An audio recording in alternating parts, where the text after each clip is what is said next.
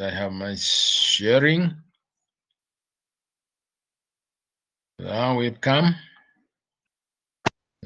Yeah. Yes, Dorothy, can you see that picture? Can you see the screen? Yes, Rostondop, how are you? I'm fine, thank you, sir. Morning. Morning, sir.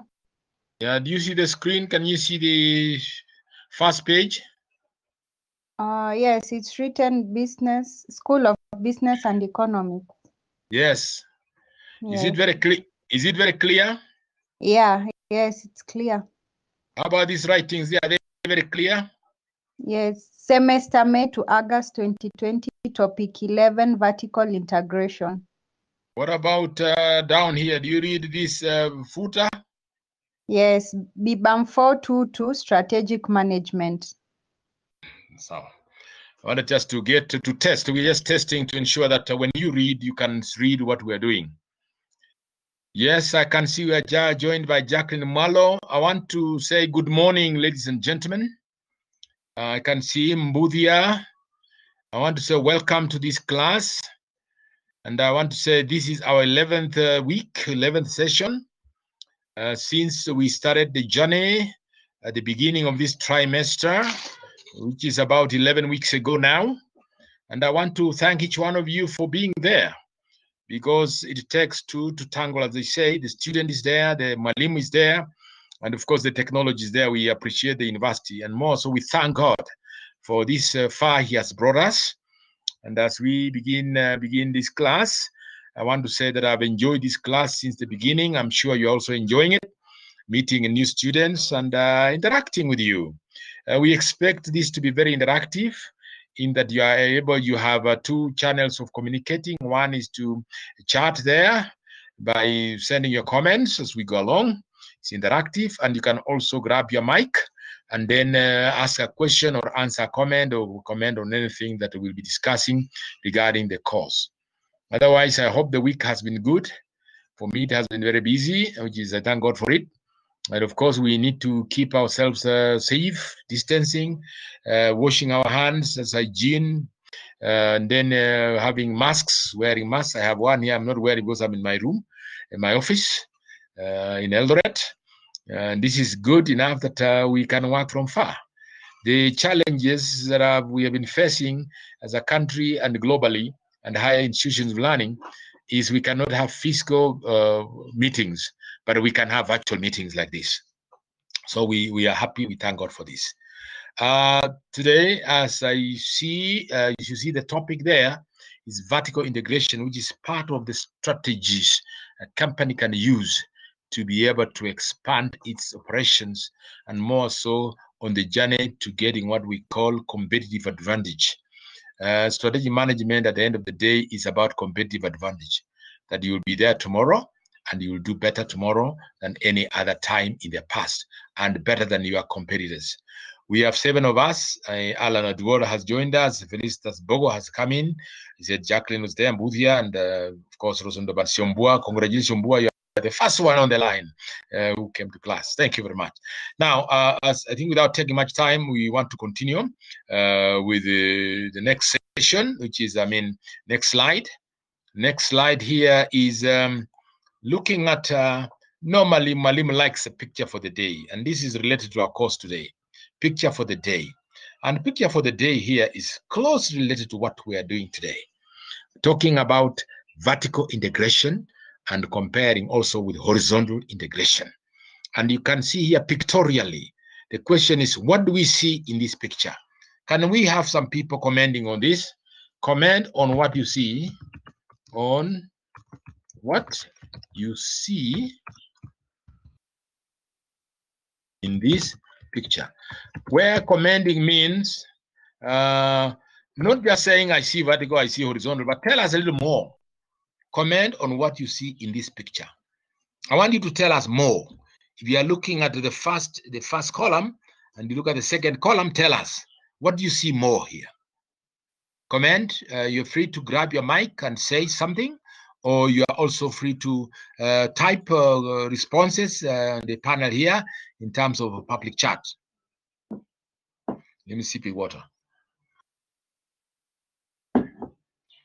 Comment on what you see here.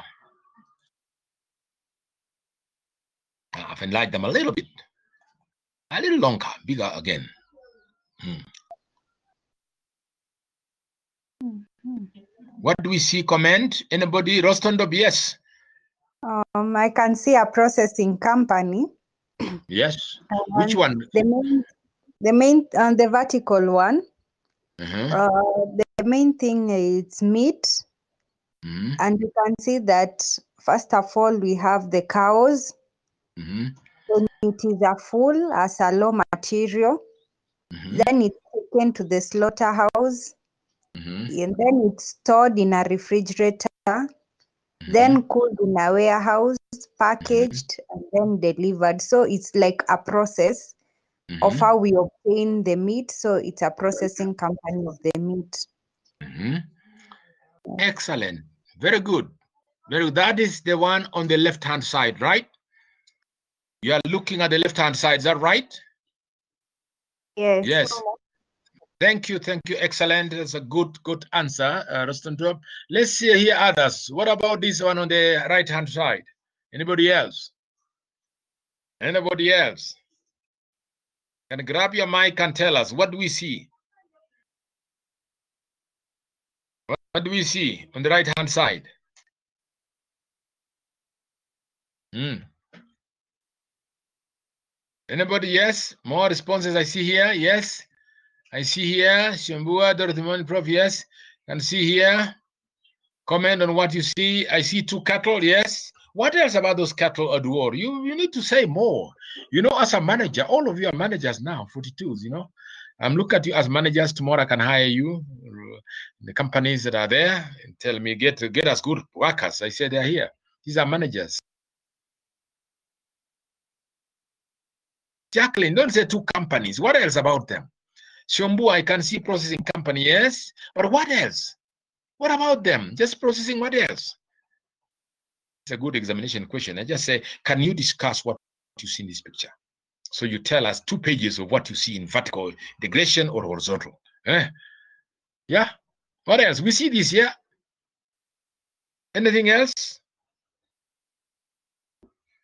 Anything else? See, people are typing, but you can grab mic and say more, like Rostanda, which is very good. She explained she saw cattle, she saw slaughterhouse, she saw refrigerated railroads. This is actual transportation. In the US, they used actually, they don't use trucks like we do here. Railways, big farms have uh, their slaughterhouse, they're connected the railway. So they are refrigerated cars or boxes or wagons, and they will transport that all the way, you know, away to cool warehouses, meat packaging plants are packaged there, you know, and so on. And you can see wagons also transport delivering them.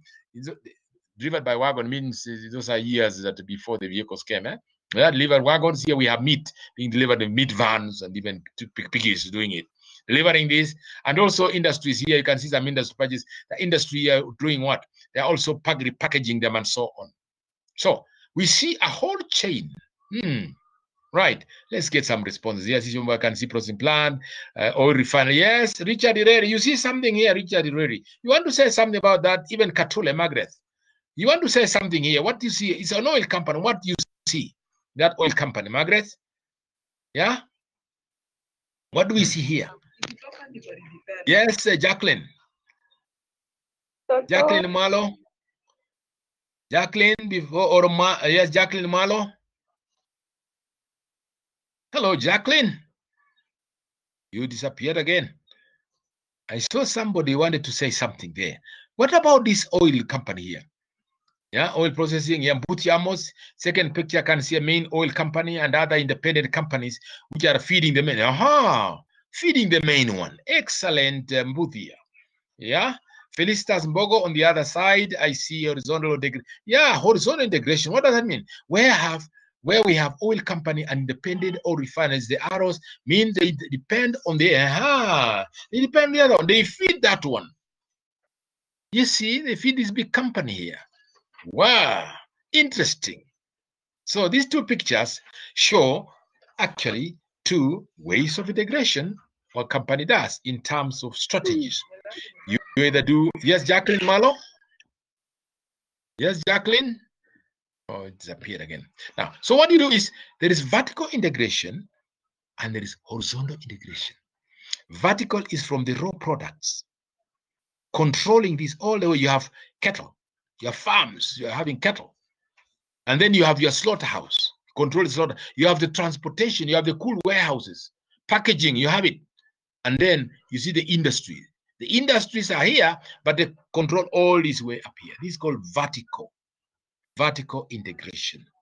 And this one here, you can see one big company owning other companies, independent, acquired all this so that it is a big giant conglomerate or company owning refineries, small independent refineries. They bring the oil there, which is then blended and transported to the markets through the outlets. Horizontal, vertical. That's what these two pictures show. And they give us now an introduction to the course today. Listen, gentlemen, as we move the next stage here. Again, I want to welcome those of you who have just joined us. I'd welcomed everybody earlier. I'd said karibuni sana. As we continue this 11th session, uh, we're running up to mid-August. That's when we reach the destination. Uh, that's when we are light, do exams, and finish the course. You know, this course will be done. And if you are finishing, you are ready to graduate by the end of the year. then you join us in the work market. Some of you will come in and join our master's degree program immediately, by the way. Master's degree program is on the way. What this space. It's coming. By January, we have that program on board. So you'll be there. You'll be the pioneers. And I want some of you to join that program. Very innovative program. That's beside the point. Now, today, the menu is set before us here. As you see the menu. And before the menu, Malimu always likes to think about great thinkers, dreamers. Great thinkers here. One of them is by the name Richard Branson. And Richard Branson, as you remember, is the founder and the maverick entrepreneur who started a company called Virgin Group of Companies.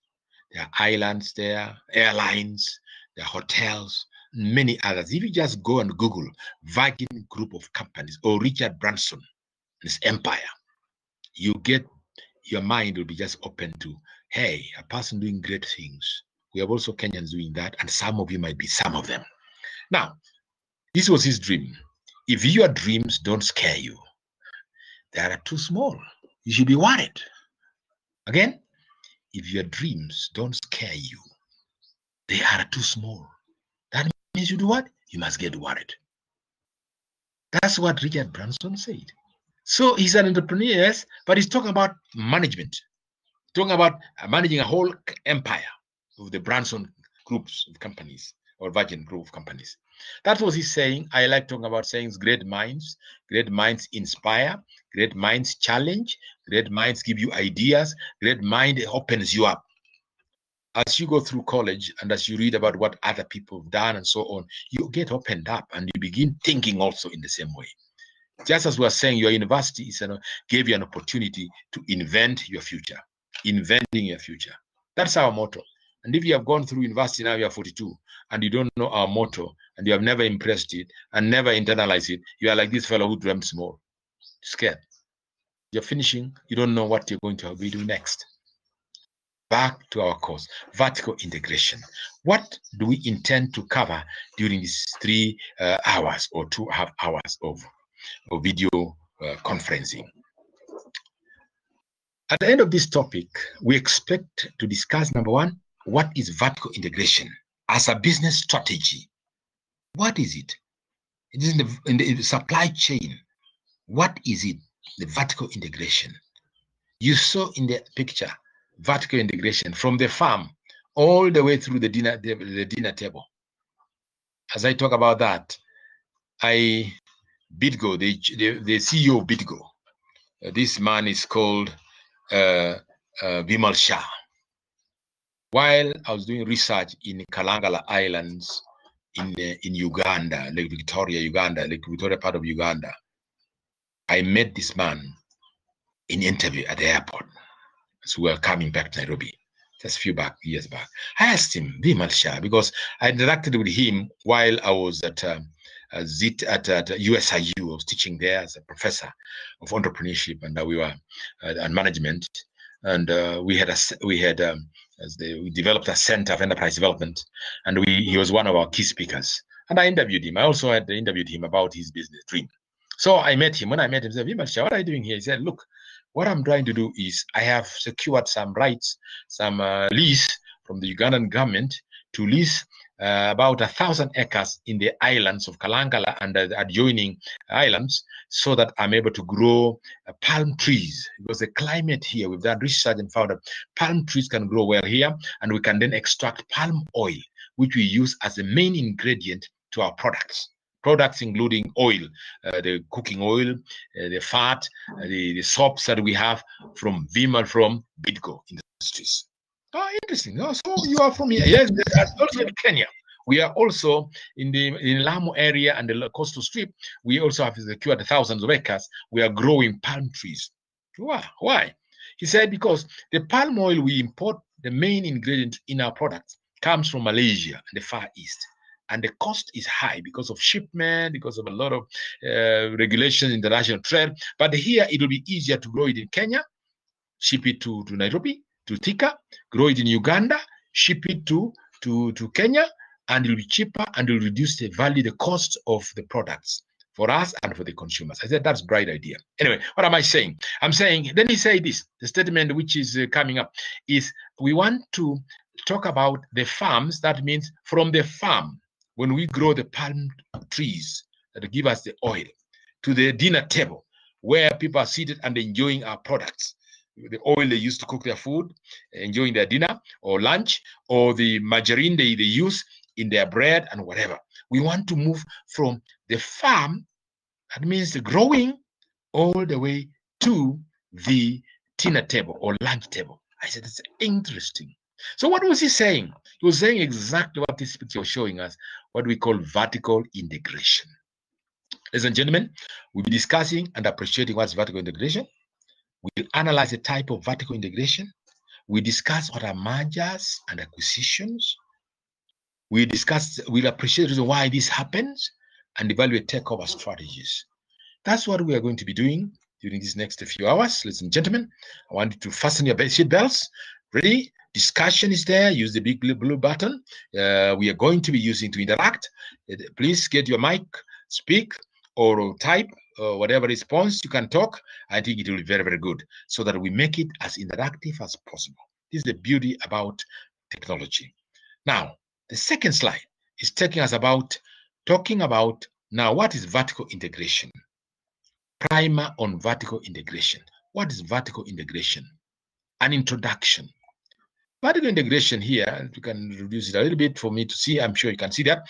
Vertical integration here is a strategy whereby a company owns or controls its suppliers, its distributors, or retail location to control its value or supply chain.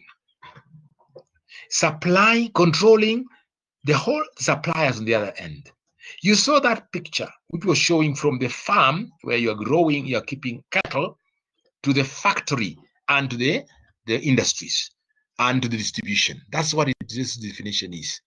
That is control of company controls, owns, or controls those processes.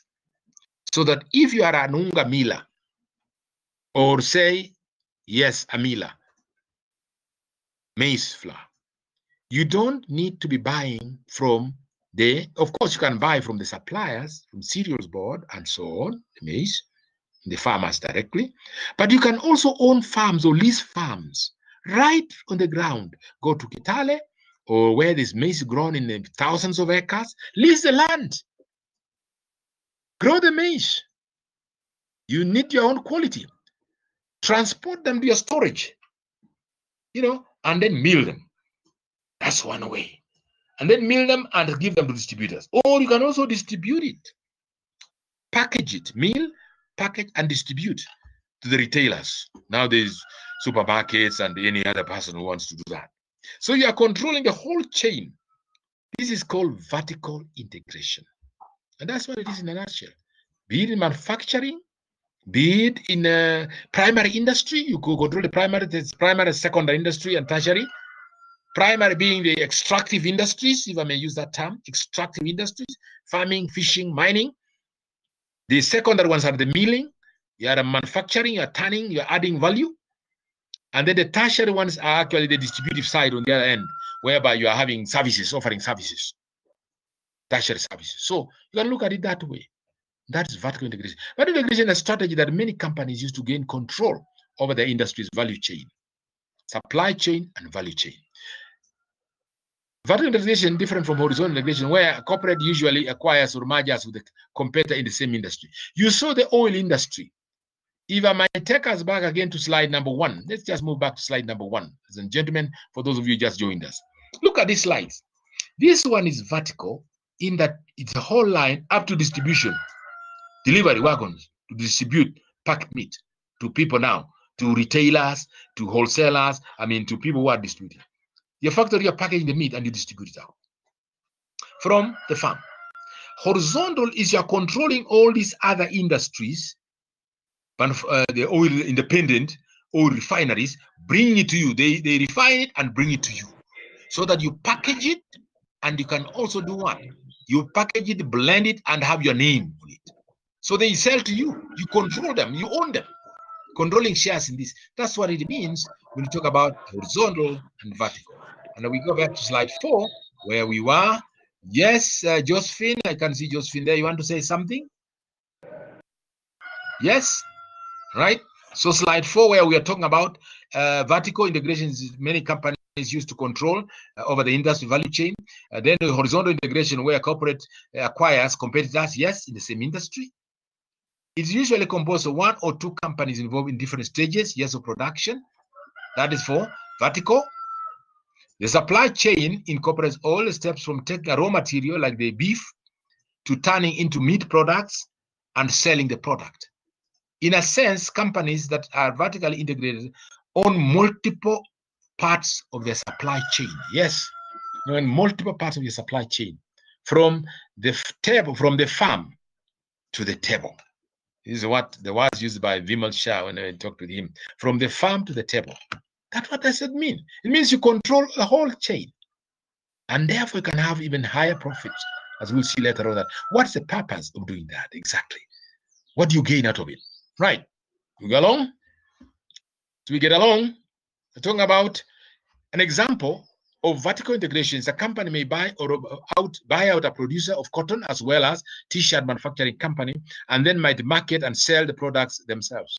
Company may buy or buy out a producer of cotton. That means the farming, as I said that, the farming, the transportation, and the manufacturing and distribution, the whole whole chain owned by that. So the original company, now a conglomerate of several companies along the same vertical or same kind product, is now control of the four parts of the of the supply chain.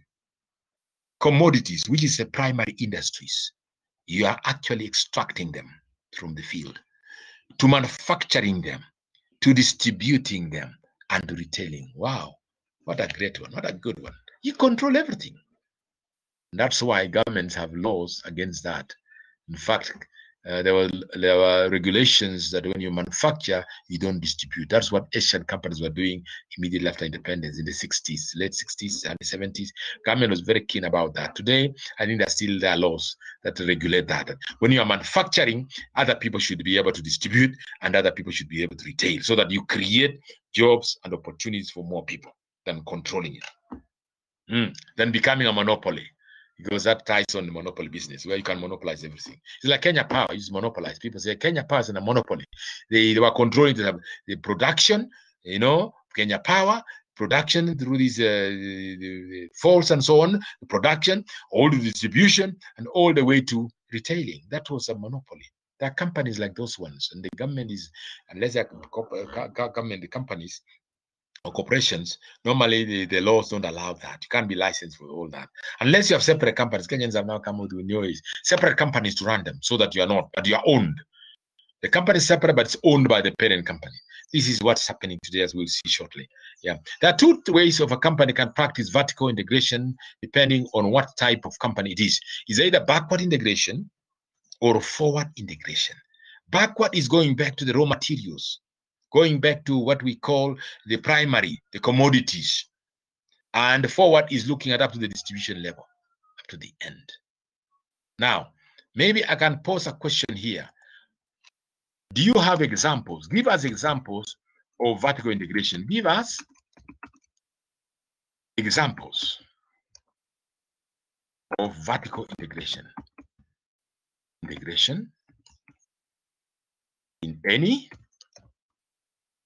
any industry in any industry of your choice.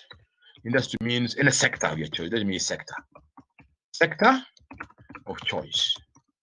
Sector of choice. Give us examples of vertical integration in in any sector of your choice. What examples can you give us?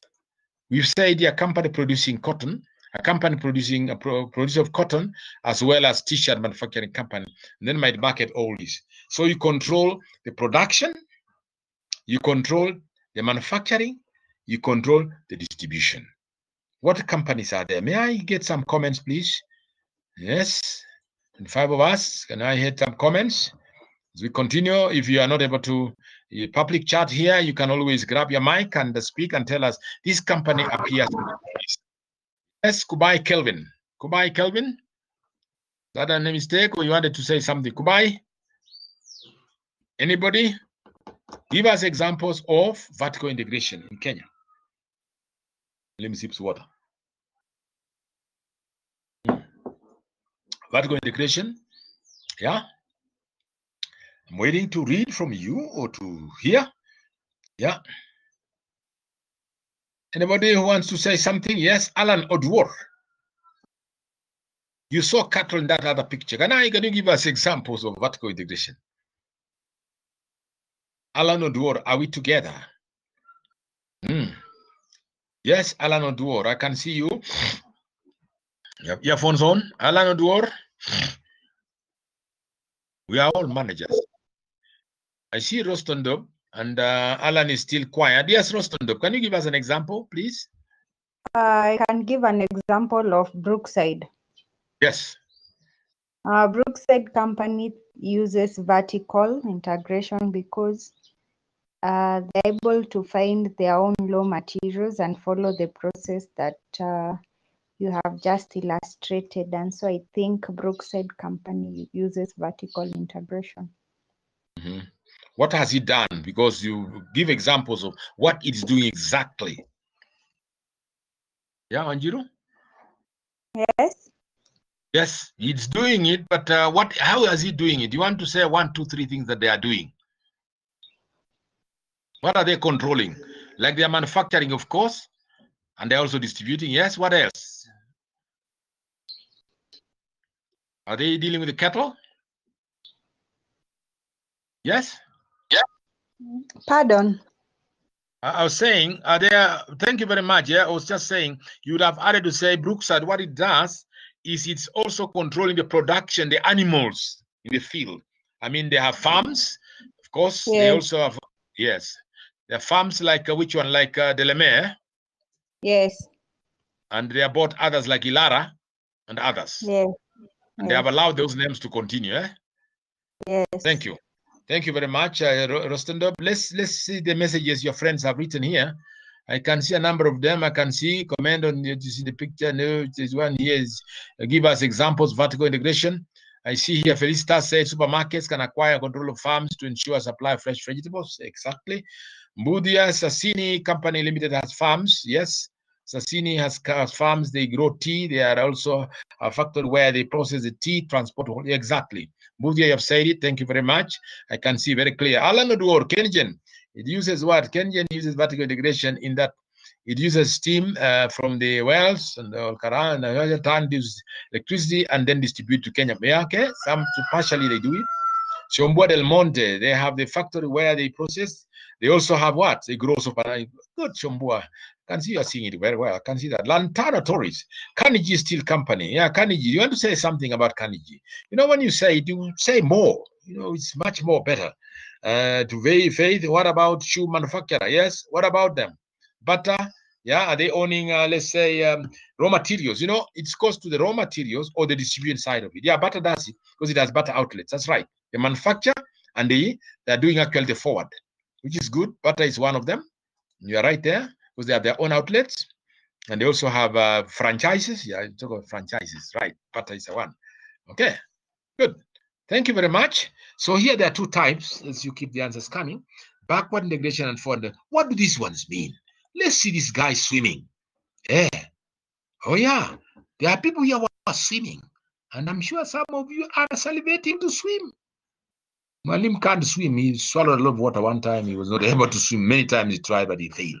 This is backward, backstroke. Can you see the swimmer? She's doing what? A backstroke. I like that. And then the other guy, hey, the guy is really going forward, eh? Swimming and competing, eh? So it's like backward and forward. This one is backward. It's just like it shows by the fellow swimming backwards. Company expands backwards or downstream to take control of parts of production further back in the supply chain. Yeah, in the supply chain, if it's a question of uh, pineapples like Del Monte, they are dealing with the farm. They are farming. When you go to Thika, you can't miss. And drive along Thika that way all the way to Matu.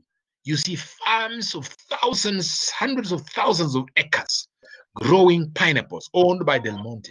And then Del Monte, they manufacture, they market, they sell them, the pineapples. Very interesting. So that's part of. Yes, I see Jacqueline there. Is that Jacqueline? You want to say something? Yes. Yes, Jacqueline, you want to say something? Okay. Can you please, please, can you mute your phone if you are not saying something? Eh?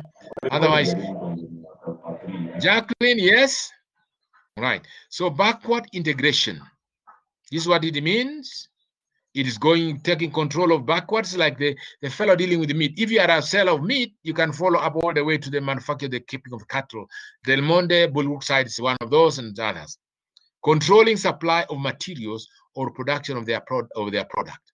Materials or the production of those materials. That's what you do when you talk of backward. And remember about the swimmer swimming backstroke. Those of you like swimming. Yeah, those of you don't like swimming, just say people back, swim backwards. Now, the forward one, forward integration, is looking ahead. What does that mean? What it means here, as we see this gentleman or lady very busy going forward. A company further downstream in the supply chain expands forwards by merging with a company on the retail or distribution end of getting the product to the consumer. Right. The distribution, you remember the picture we saw there with the wagon. These guys had they used wagons to distribute the meat. Here we use vehicles, whereby you own the whole line, whereby you own the slaughterhouse, mm, and you package the meat and you deliver it. Kenya Meat Commission will have done very well. Yeah, Kenya Meat Commission tried that. Eh? They have a retail outlet for their meat and so on. They don't do it very well, but that's what they're doing. So that you actually look forward, you control also the, the downstream side where you are going towards the consumer, reaching the consumer. So in this is a company further downstream, the supply chain expands forward by merging with a company, merging or controlling on the retail side and distribution side. And then getting the product out the consumer. At the end, you are reaching the consumer. Wow, interesting. Here, you are controlling the farmer. You are the farmer yourself, if you are doing farming or mining. Out here, you are actually going to the person who is consuming it on the table. You are reaching the consumer. That is, in brief, what we mean by by backward and forward. But let's read more about them. Eh? Talk about forward and backward. What do they mean exactly? When a company expands, I'll come back sorry, gentlemen. I need to make it uh, easier for me to read also here. Yeah, and you can see when a company expands, this is forward. Eh? We're talking forward. When a company expands forward, it's a supply chain, for example, manufactured brought to a retailer, it will be performing forward integration. This is typically done by companies close to the start of the supply chain, blah, blah. Since the company is expanding forward to getting the products out, the consumers is integrating forwards. It's getting moving to consumers. And then forward integration, yeah. Uh, strategy is effective when few, uh, okay, it gives about that, comments about uh, how is it effective it's effective if equally distributors are available in the industry. Distributors or retailers have high profit margins, and distributors are very expensive, and so on and so forth. Yeah, I see various examples here. Somebody has typed various examples here. Let's see. Gentlemen, these charts here. Let's see somebody here uh, has gone into. Uh, uh, Oh, yeah, yeah. Jacqueline, Jacqueline, Jack. Oh, Jacqueline, how are you? I can see you have gone into the internet and download stuff. Okay, it's good to download this stuff. It's good for us. But at this stage, what we're doing is just tell us from your own readings, you know. This is very good. You have downloaded stuff here.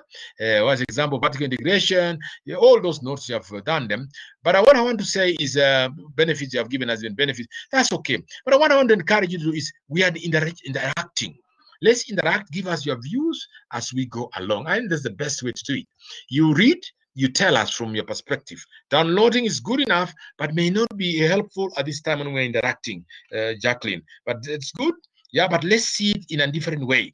How do we interact in terms of you telling us from your perspective, give us examples like your friends are doing it, okay?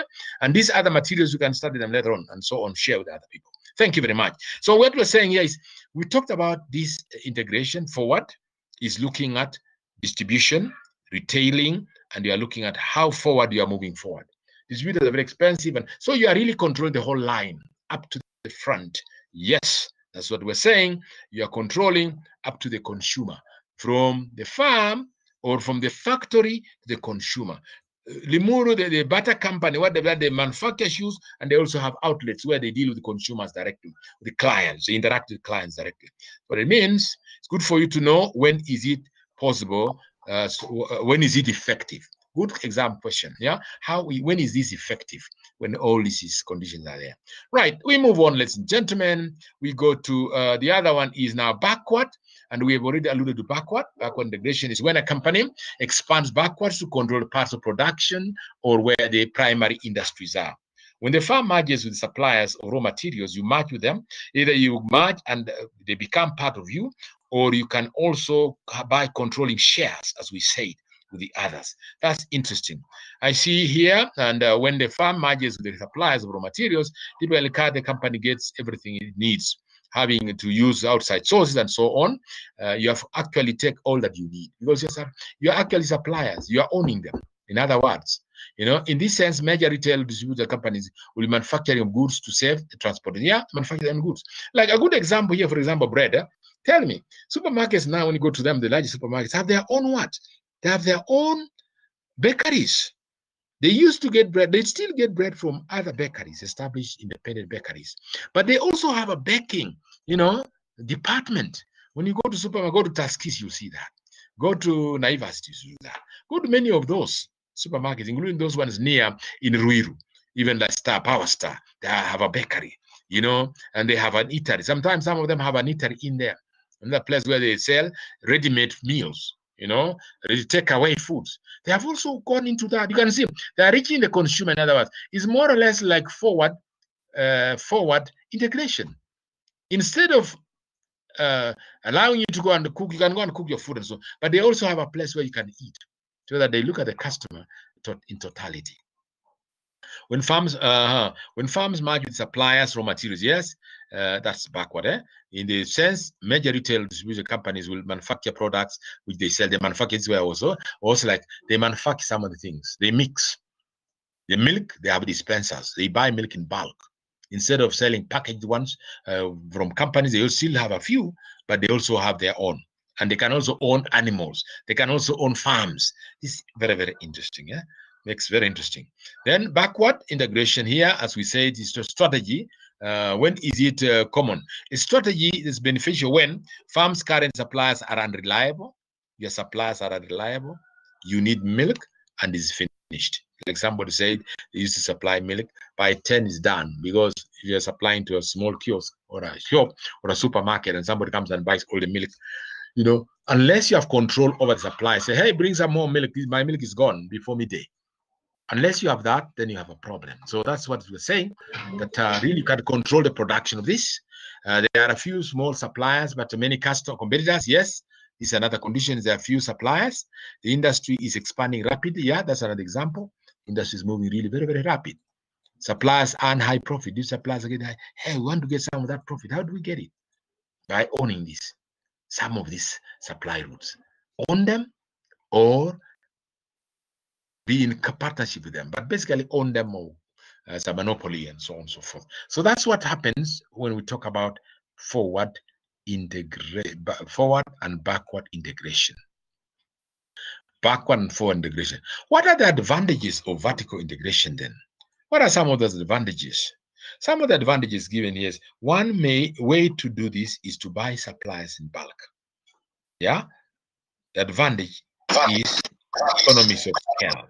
Shadrach Kirui, Kirui, please mute unless you want to say something. You achieve economies of scale. Very interesting. What do economies of scale mean? Means you buy large quantities, then the lower the variable costs, the costs. You have volume. So achieve economies of scale is one of the advantages of vertical because you are dealing with from the supplier, from the farm to the table, the dinner table. It means you can you have the quantities you can supply or use or consume. So in that case, is they enjoy the economies of scale. You have removed these middlemen; they are not there. You have eliminated them because you do it directly, except employees now. Create new profit centers. Yes, you do if you own a company, like what uh, Brookside did. In the competitors, what they did was they merged with them horizontal. Imagine those uh, small producers of milk, like uh, like uh, I said, one is Ilara. There was another one called uh, uh another one which was called something in here, Donyo. Many many of them. They merged with them so that what they are doing actually they acquire them. They can still read their own names, but when you read the package, even Del Monte, even Delamere, you look at Delamere, it's read Delamere, the name is there, but it's packaged by Brookside down there. What does that mean? It means Brookside owns him or majority shares. So economies of scale. Creating profit centers. Yes, those companies now, they are your profit centers. Instead of competing with you, they actually profit they earn comes to you. It's the same thing the banks. We'll see later on. KCB acquiring National Bank of Kenya, NBK. You know, it still trades as NBK. It has clients NBK, but who owns the bank? is owned by KCB. So it's a profit center also, as you can look at that as profit center. It's actually uh, an integration and so on. Okay, then expand geographically. Yes, you can reach places which you couldn't, and this is very clear now with Brookside and also with the KCB. KCB is known as a branch, a bank that is branched across the globe, the country. But you see, it was not every place. A national bank is there. So they have acquired this and they are enjoying the benefits of uh, bigger, bigger bank that has many branches. Yeah, Del Monte is the same. Uh, the Delamere, Delamere, but Brookside is the same thing. It is already in Naivasha where Delamere is, and other places. So, and it's also in Nakuru where Ilara is, many other milk plants, and even Eldoret where this milk was, and so on. So all these are creating profit centers. You expand geographically, so achieve economy of scale, create new profit centers, and expand geographically. Hmm. What else we see here? What we see here also is they maintain quality control, yes, because now the quality is, is control. You want to sell products to people and they want to consume them and be able to be happy that the product is good. So companies that have um, more control over the production process are able to maintain high quality standards. Yeah. Vertical uh, differentiate from competitors. Okay. Vertical integration may allow a company to set itself apart from its competitors. A company that manufactures electronics could establish itself as a retailer, providing an experience for its customers that its competitors cannot. For example, when an Apple opened its first retail store in 2001, it was to cater the, for the customers in a way that Microsoft. And that's an example, one of those uh, integration. But what we're saying here is that it allows you make yourself better than your competitors because you can offer quality products. The competitors are struggling with that small store one company, but you are dealing with various companies. And you can have a, it can also be the advantage, by the way, it can also work against you if you don't strictly control standards. Like you talk about the um, uh, Brookside. If they bought Ilara and the quality of Ilara production and so on was lower, then it might affect it. But generally, Ilara will have to rise up to the quality of Brookside and make sure that um, what products are selling meet the quality and the standards. The Delamere is the same thing, you know. Many of us who are the older generation, we used to take milk from the Delamere, especially yogurt. Yogurt in this country that was clear, good yogurt was the Delamere and the university and Egerton University. When it was university, when it was a college, Egerton College, it used to make good milk. You could enjoy the um, yogurt Hope it's not lanja. People might be celebrating. Malim, we don't talk about yogurt when we are hungry. Uh, don't worry about that. It's not your lanja. Next time we'll buy yogurt when we meet. But we're saying what? We're saying company like you know Brookside uh, is riding on the Le Maire. The Le Maire is a well-known name since 1900s, you know, and so its bodies uh, you may say the integration some sort. It's integration, uh, more or less. It was vertical, also it's more or less horizontal because they were already in the same business, but it's combination of that. And you can see the quality of the Le Maire. People still enjoy them. Egerton University milk, of course, went down the quality. Uh, milk or, or, yogurt. It was one of the best because it's Danish technology in Kenya, Egerton College, whereby there's Danish technology, and they were doing this quality. But quality went down. Everybody now everywhere makes yogurt, but the yogurt that you want to buy is you want to say Delamere, original Delamere, which is now taken over by Brookside. You know whether Brookside maintains the quality or not, I'm not sure. I don't know. The question is again, you differentiate from your competitors. Of course, the one company that has refused to be swallowed. Uh, that is Githunguri. I did research on Githunguri. I don't know, I mentioned in another class. I did research on Githunguri. Very interesting company owned by farmers. It's farmers cooperative milk dairy cooperative society. They have a factory. They have a farmers distributing. Uh, they've actually reached down to the farmers themselves. They give them quality animals, quality AI services, quality vet services, and quality hay, and so on, so that they get quality milk. So they have done some kind of vertical uh, uh, integration. The cooperative, the factory is owned by the by the uh, cooperators, and then, of course, they have reached out to the farmers and all down to even growing hay. The research I was doing was about growing hay so that they control even the inputs that go into milk production so that they have quality milk. They say, okay, anyway, that's, that's the point. So differentiate among the competitors and protect propri proprietary processes or recipes. Yeah, Coca-Cola, for example, has a formula. To make Coca-Cola, you don't just need sugar and what there is type of sugar called syrup sugar, special sugar they put in the Coca-Cola. There's also water which they refine. It's called ordinary water, ordinary water which is refined and okay, purified. And then they they, they concentrate, which gives the Coke taste, is owned by Coca-Cola company itself and is vested in the directors, I think owners in Georgia in the US. That is a complicated formula for making Coke. It's also for making Fanta. You know, the Fanta of, of, of Coca-Cola is different from these other Fantas that have come, orange, you know, orange drink and others, or Sprite. The original taste of Sprite remains. Coke remains. Coke has a flagship anyway. So the thing is, you control that by doing what? By vertical integration. In some cases, secret recipes are so valuable that they are maintained as their true secret, trade secrets. And outsourcing their manufacturing, manufacturing would be unthinkable, such as the Coca-Cola. Yes, protecting that. So you vertically integrate distribution also, your production, distribution. You also, the ingredients of that formula, you also control it so that other people may not know how to use those ingredients. Use a chemical formula. Because chemical formula then it is owned by you. And even the people who came up with it are employees and shareholders, you know, so that you maintain them. They don't run away with the trade secrets or the formula for making Coca-Cola. You can say other companies have tried to come up with cola, something cola, but it does not taste like the original Coke and so on. So anyway, it's part of what we call vertical integration to control production, control extraction, production, and distribution advantages we've talked about there. See, are there other advantages? Let's see this anymore. Advantages, no, no advantages. But I want to pose a question here. What are the advantages? What other advantages exist? What other advantages, ladies and gentlemen, so that we are together, advantages exist vertical integration for VI. VI is vertical integration. What other advantages exist for VI? Give us that. Let's see. What other advantages can you think about? We've given you five of them.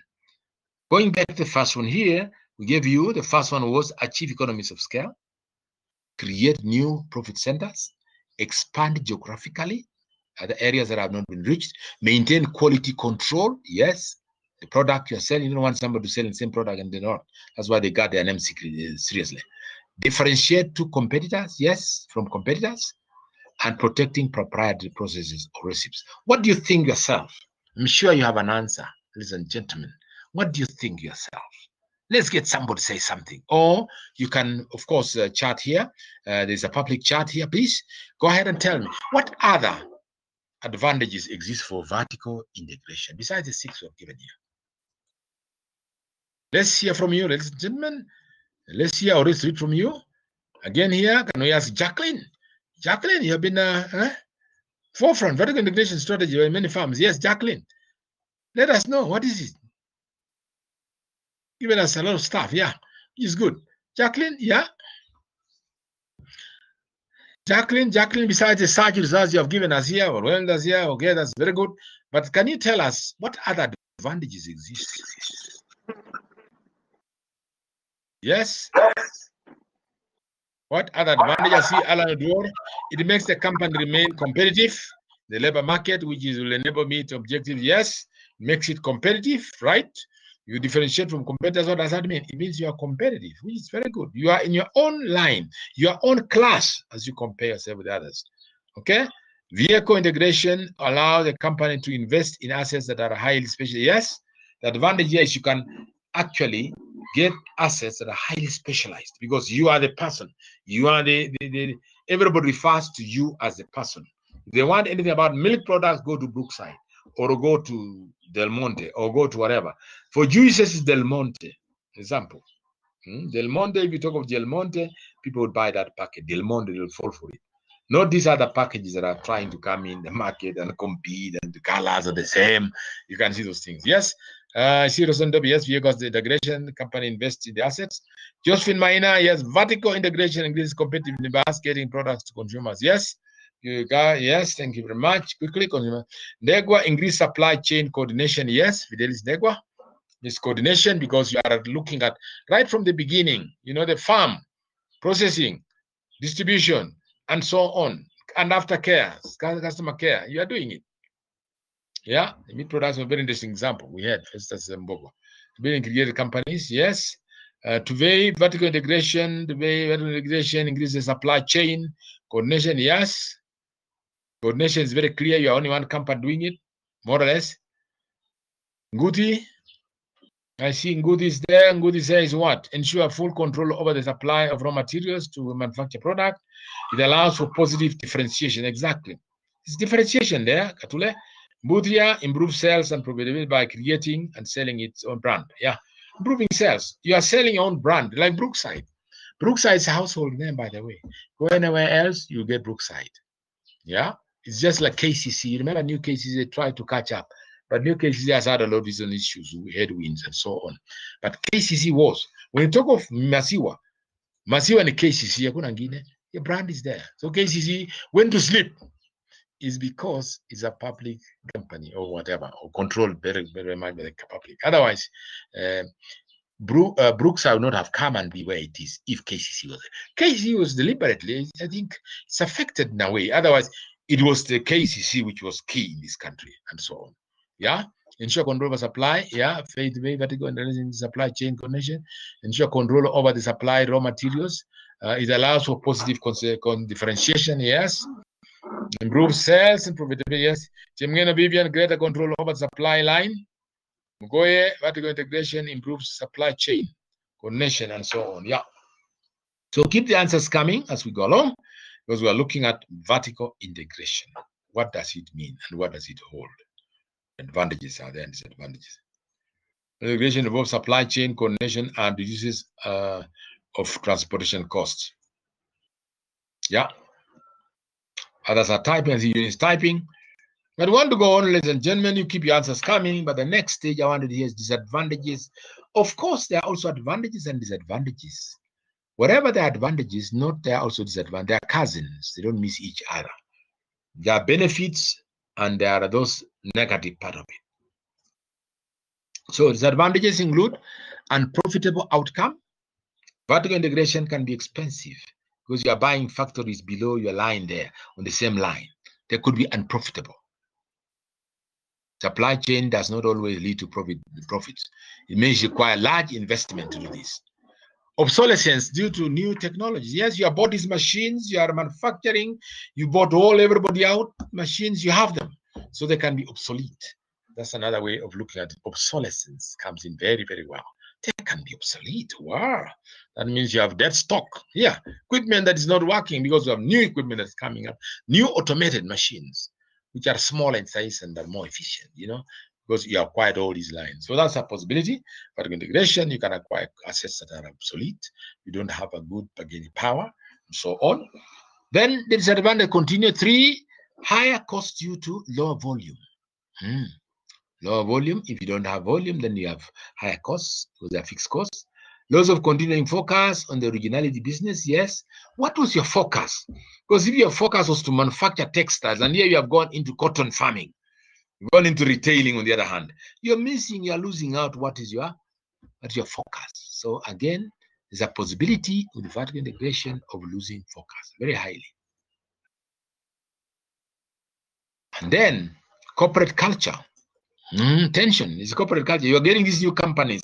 What's their corporate culture? How do they behave? Mm. Are things that are, you think about. I see a number of you have answered my question here very well. Mm-hmm. The Eunice Maingi reduces transportation costs if common. They Therefore, increase market share. Yes. Vertical integration improves value chain. Yes.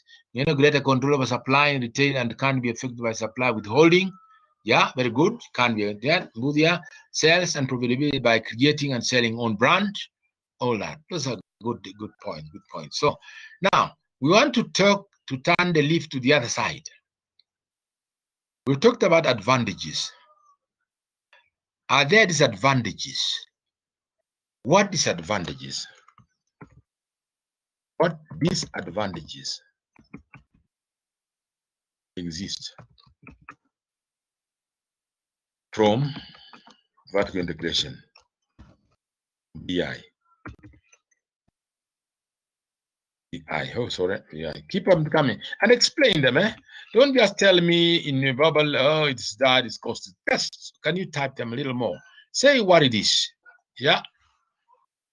Let's have some responses, please.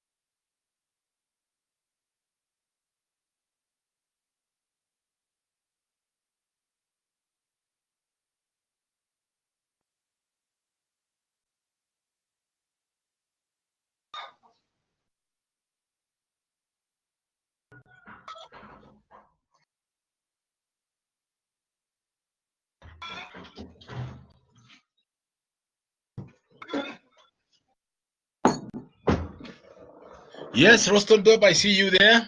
Rostondop, can I have Yeah. some responses?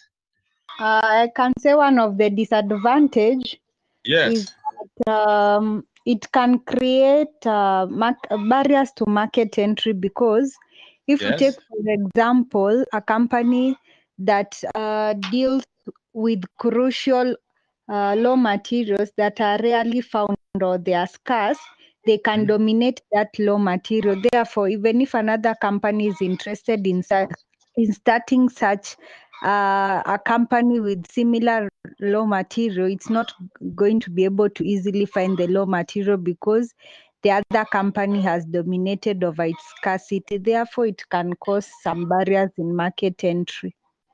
Yes. Market entry because you become monopoly more or less. That's right. That's true. Yeah. Let's uh, see others what they have said. I can see here Lantana Tourist and profit of outcome. Yes, at advan- a disadvantage that come. Uh, it's costly to maintain, uh, which will uh, not favor small and growing. Yeah. Alan Dora said something there that actually create a monopoly and therefore it is anti-entrepreneurial culture. Although now with challenges, normally we say with the challenges, entrepreneurs will always find solutions. When you find that the river is blocked by someone upstream who is growing fruits and horticulture, and here downstream you need water. There are many ways of getting that water. Besides litigations and things like those, you can even look at other sources of water. You become more entrepreneurial. Maybe sing a borehole. You have your own water control, and so anyway, this is just suggestion. But you are right that it is anti. Uh, you may say disadvantages of vertical integration could be uh, it's a more or less a monopoly so antitrust rules, laws in America, for example, in America, they used to have laws that you don't monopolize. You allow other companies also to have opportunity. So uh, he has blocked the way. Ahead there, the market is supplied by the same fellow. There must be a way of controlling this fellow. So anyway, there are disadvantages. I see Edward said, Edward said something there. Felicitas, if you can read, it's not simple because it requires companies to get involved in new aspects of supply chain. Yes. Higher costs due to lower volumes. Yes. Lower volumes unless you increase the volumes. Thank you very much, Eunice uh, Wambale. Uh, Eliud Mugoy developing new core competencies make uh, compromise existing. yes, you're actually going to water down. You are bringing in other companies like the services of KCB. If they continue, if they, uh, for example, they're controlling now, uh, for example, the bring in national bank quality can be affected. Or brookside when it did uh, control uh, the others uh, you know uh, companies up there you find that you compromise your quality and possibility. Uh, lantana loss of continuing on the originating business yes. Outsourcing suppliers might be more efficient in the expert yeah sourcing suppliers, people, other people to supply or retail. It's more efficient. What's your core business? But these guys are moving beyond that. Jumapili, yeah, you may say money in Jumapili.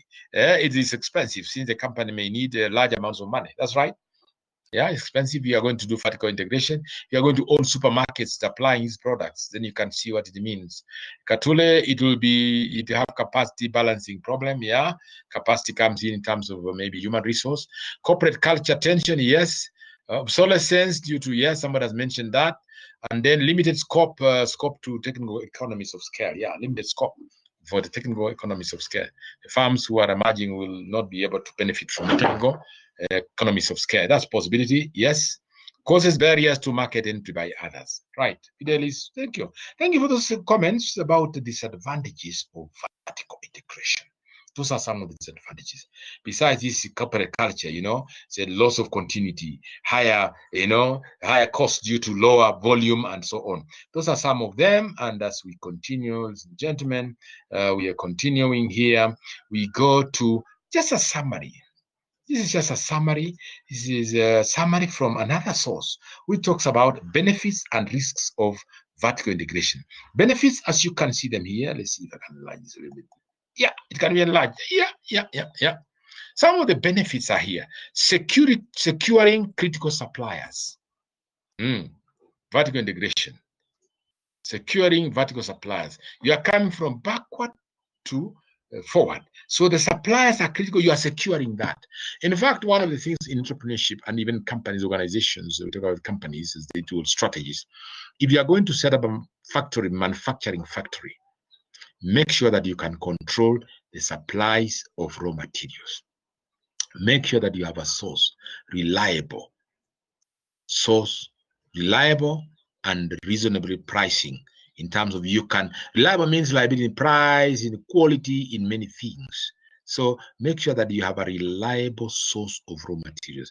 Otherwise, you'll put up a factory, you spend a lot of resources there, and at the end of the day, you finish and then you are supplied with the first batch of supply, second batch. The third one is poor quality. The fourth one is nothing coming. You frustrate your customers. You frustrate them because you say, you know, these supplies have not come. It's like what is happening today with COVID 19. What's happening is that many companies are not manufacturing products. They were use manufacture the speed they were because they are blaming what COVID nineteen. You know, we can't get things. These are from China, and we cannot get this product from this raw materials from China. Therefore, we have to look for other sources. I'm talking because I've had experience a close person who is doing that in my my household. Somebody who is importing things from China, but because of this COVID nineteen, he, he is not able to get those materials, raw materials. And I told him, look, think about alternative products that you can be able to. So supplies coming there, uh, securing the suppliers, and then lowering costs and, and improving quality. These are key things. It lowers costs and improves quality. And then facilitates investment in specialized assets. Yes, somebody mentioned earlier that you can acquire assets that are specialized because of integrating vertically. Then, what are some of the risks of vertical integration? The risks are here. they There is increasing cost of reducing and reducing quality. Yes, increasing costs because you have to spend money to acquire those as those those companies upstream and those ones downstream. It's it's the amount is there and the quality comes in also, uh, reducing the quality. And uh, the quality here is you may really be able to not meet much the quality expected. Reducing of flexibility, yeah, you are not flexible. You are not tied. You are now tied more or less. Increasing of potential uh, legal re repercussions. Yes, legal repercussions. You bought this, you are under monopoly and the trust, those kind of things. There's also risk of failure. Somebody has a risk of failure because when you expand too much, then the chances are you spread yourself a little bit thinner and you may be able to compromise quality and you may also even attention to your core business disappears and even staff so you find that you're losing key people to competitors because you no longer pay much attention. You are overspread. You are looking at the suppliers on the other, the retailers, the distributors on one hand. You are distributing. You are looking at suppliers on one hand. So you are caught in between, and it becomes kind of a challenge, which may affect your business at the end of the day. So that's a summary of these uh, uh, risks, uh, these benefits and risks of of, um, of uh, vertical integration (VI). We move on, ladies and gentlemen. We look at um, hmm, mergers and acquisitions. Now, mergers and acquisitions still are a part of. When you look at the vertical integration, really, it is like it en encompasses. There are companies upstream and there are companies downstream. Upstream is when you're talking about the raw materials where they're coming from. There are companies there. And also downstream, there are companies already who are are in business what do you do? You either merge with them or you acquire them. That's the way you're talking about in terms of the integration. Integration here is bringing them together into terms of making sure that you can control now the activities that you are uh, offering services or goods to be able to bring the market. So in this case, when you talk of mergers and acquisition, they are actually fall under the armpit, the armpit of, of, of integration, vertical integration. So merger or acquisition is the company uh, we're saying what here, a little bit here, mergers are what. Merger acquisition, a company sense can be defined as the combination of two or more companies into one new company or corporation. It's a combination of two or more companies into one company or corporation. Think about that. What is happening is uh, I watch National Geographic quite a bit. Now, I encourage you when you have time, you have subscribed to that. You star, it gives me every month. I subscribe, pay a little money, and I watch National Geographic, NG, and I think NG, National Geographic, uh, Wild, NGW, and National Geographic Wild, NGW, and very interesting. They've been uh, in the last series. They've been talking about the sharks you see sharks in the open sea. Sharks are the largest animals you can ever.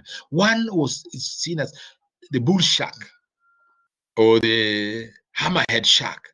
It's 20 feet, 20 feet, and weighing 5,000 pounds. They use pounds in this case. 5,000 pounds. Bigger than an elephant. When you look at the land animals, the land animals are the elephant, the largest, the jumbo. Hmm. The jumbo is the largest. But then, when you look at uh, the other animals, as uh, cheetahs, these are small animals anyway, speed and so on. Uh, the hippo is also big enough, but not as large.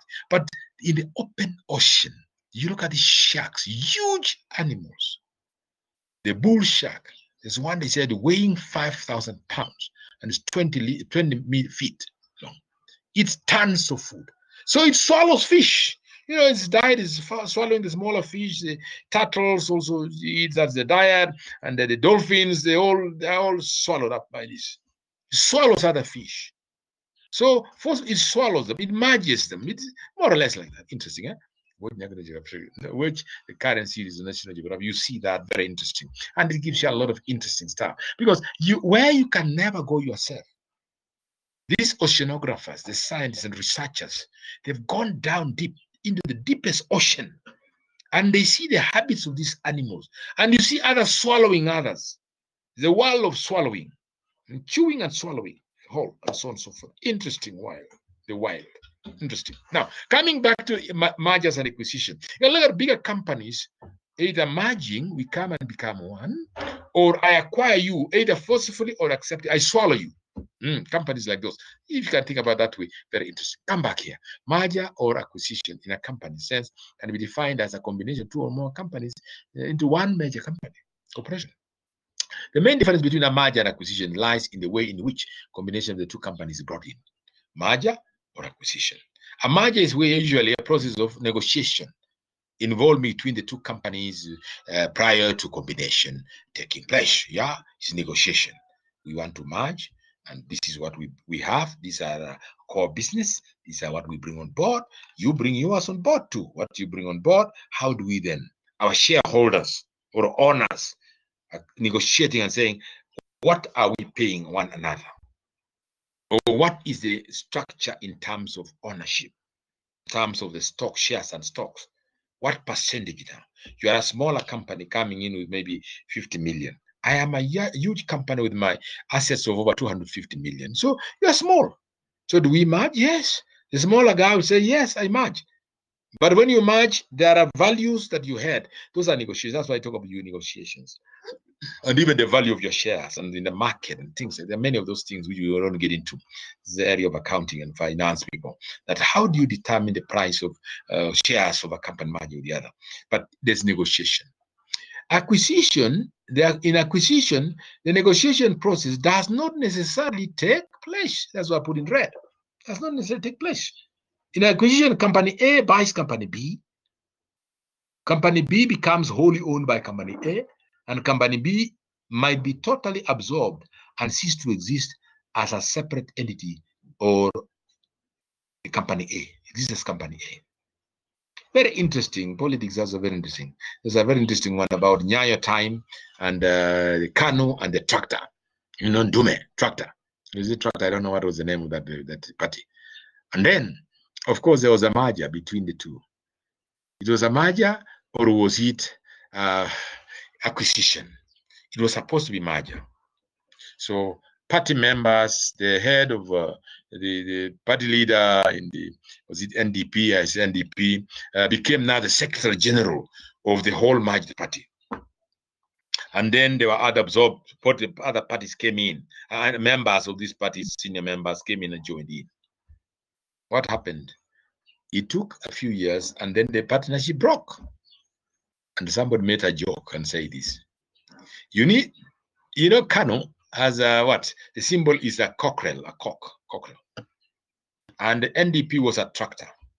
The joke was this, some of you may have read, it's very interesting one. That when they merged, you know, when they merged, the cockerel swallowed the tractor. when they swallowed the tractor, in fact, they had uh, some artists had already represented this, uh, a cockerel and a tractor in its stomach. The tractor in the stomach was not switched off. it was switched off. So it was continuing in the stomach of the what? Of the cockerel. The merger, it was a merger, an acquisition. Eh? More or less a merger, not acquisition, a merger. It continued rattling there until the, the, the cockerel, jogo, had to spit it out.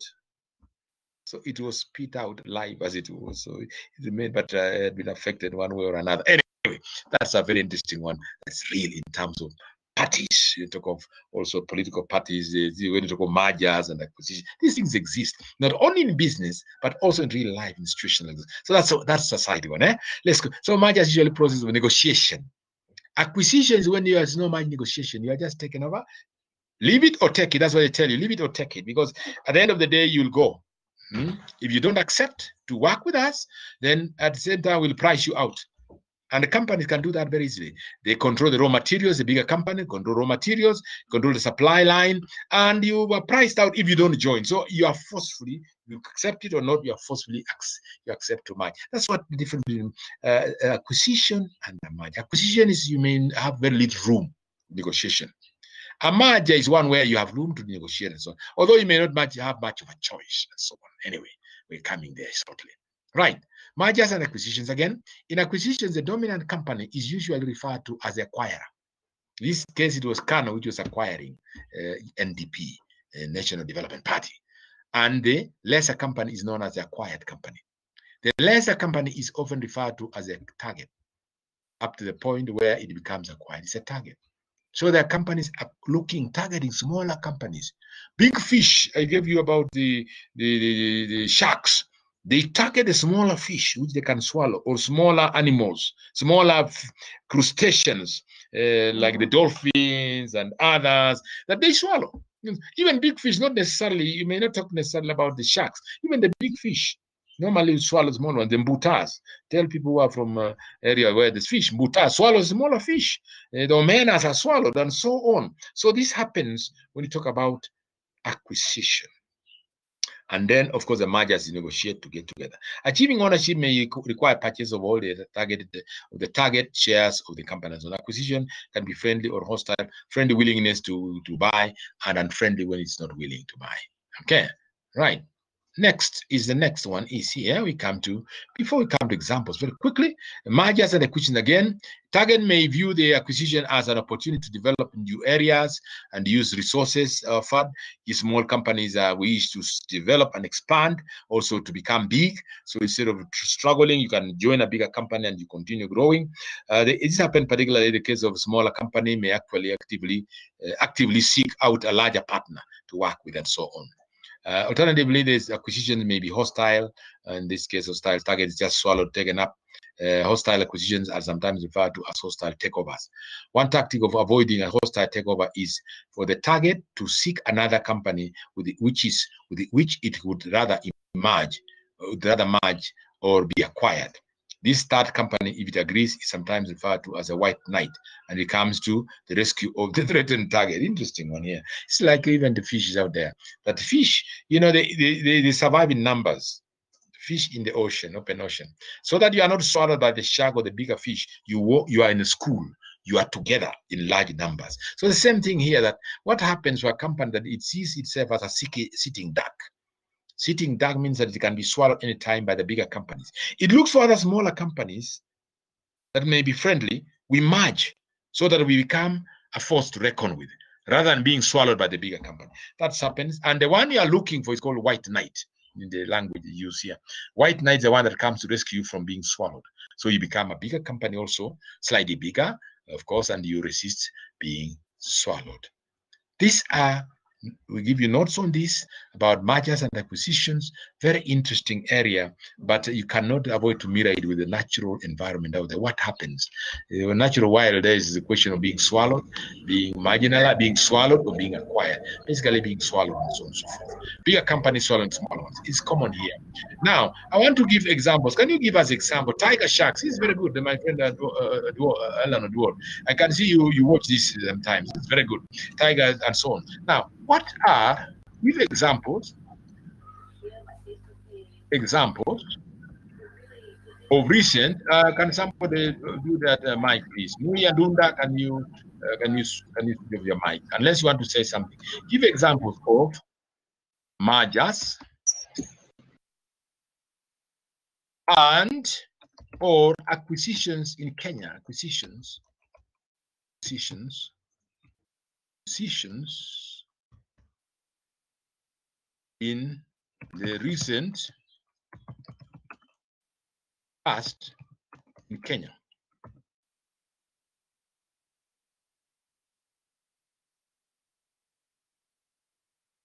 Kenya, Kenya, Kenya. Give examples of mergers and or acquisition in the recent past in Kenya. Can we get examples of this? You know, when we talk about mergers and acquisitions. And we have defined them very clearly here that uh, one is uh, force can be forceful, one can be negotiated, one can be friendly. So, can we look at the recent history in Kenya? What are some of those recent uh, acquisitions? and gentlemen, back to you. Anybody can grab the mic and say something. Soko. You're free, grab your mic wherever you are and tell Malimu this is what I thought, or tell the audience this is what I think uh, and there's no one who will laugh at you say, "Oh, you failed, man." No, nobody failed. We are all together Please, just let's interact. Yeah. Give us that as Malim sips water, a cup of water. Mm. I'm waiting to read from you or to hear from you. waiting to read or hear from you. Yes, I can see here. Uh, Evans, so thank you. NIC and CBA Bank, they became NCBA. Excellent. Yes, they merged. Did they merge or there was one acquired? Evanson.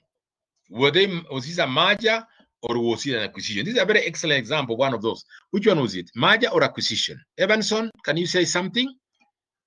I said mergers or acquisition and or acquisition. So which one is this? Yep. Evanson, we're waiting for you, or any other member can also contribute to this. Was it a merger or was it an acquisition? Yes, Matthew, yes, it was a merger. Thank you. Why do you think it was a merger? Can you give reasons why it was a merger, Evanson? Why was it a merger? Tell us. Hmm. We are managers now and we ask ourselves questions. It's a merger. Why? Why do you think it's a merger, not an acquisition? Yes, anybody can answer that Yes, Muti, Mutinia, Marianne. Want to say something, Mutinia? Mutinia, Mutinia, Mutinia. I can see you have your mic. Hello. Mutinia, are we together? Mutinia, are we together? Ah, she switched it off. Sorry. If you have something to say, please say it. We are here together. Right. Alan Odward, Tuzo merged with the Brookside company in uh, and became Dairy Fresh. In the milk processing company, since Tuzo was finding it hard to maintain its operation, but now it's stable. Was it a merger? Is it still Tuzo? Yes, I see Milk Tuzo. Was it a merger? Yes, Odor. Alan Odor, was it a merger or an acquisition? You've said they merged, so it's a merger, I guess, because Tuzo has remained Tuzo, but it's under Brookside. What about this one of NIC and CBA? Thank you very much, Alan. What about this one of NCI and CBA? Was it a merger or was it an acquisition? Mm. I want to hear from you guys and others. Where are you? Atiena Gonga, Angonga, Jemngeno, Chris Mlogosi, Christine Wanjiru. Where are we? Shadrach Crew, yes, Safaricom acquired. Uh, Shadrach Crew uh, acquired U Mobile. Yes, it was an acquisition. That one, so U is no longer there. Yeah, we don't see in the market, which is an acquisition, really. Uh-huh. Eunice Wambala, acquisition of KenolKobil by Rubis. So what is it? Is it called Rubis? They merged or they acquired? It was acquired, okay? Thank you very much. We are thinking here a little bit. Where are the others? Are you thinking, you guys? Yeah, Rostondop, yes. Uh, Tumaini, uh, Rostondop, Tumaini uh, Max Supermarket was acquired by Quickmart Supermarket. So what's the name of that Rostondop? You can say. If it was acquired, it remained, eh? Quickmart, eh?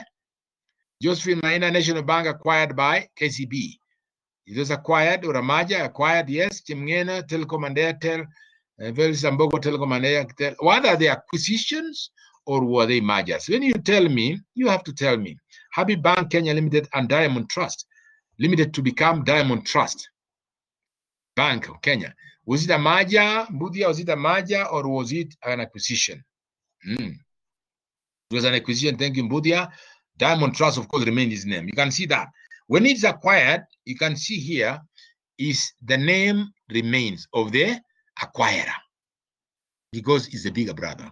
So you use my name. Yeah, it's like marriage.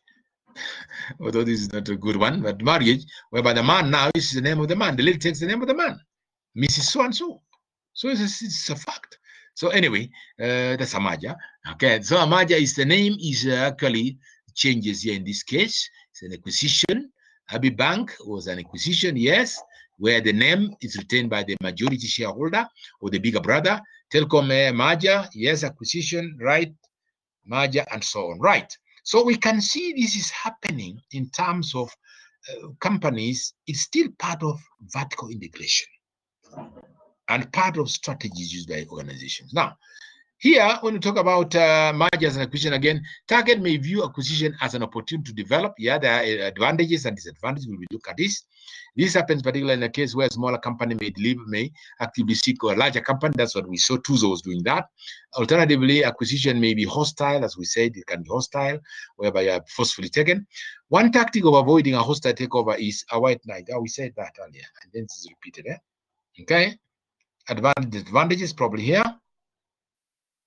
Now, these are recent examples in Kenya.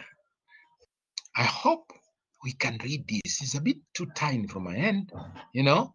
Mergers, this is recent examples in Kenya. Mergers, the institutions, merging the who.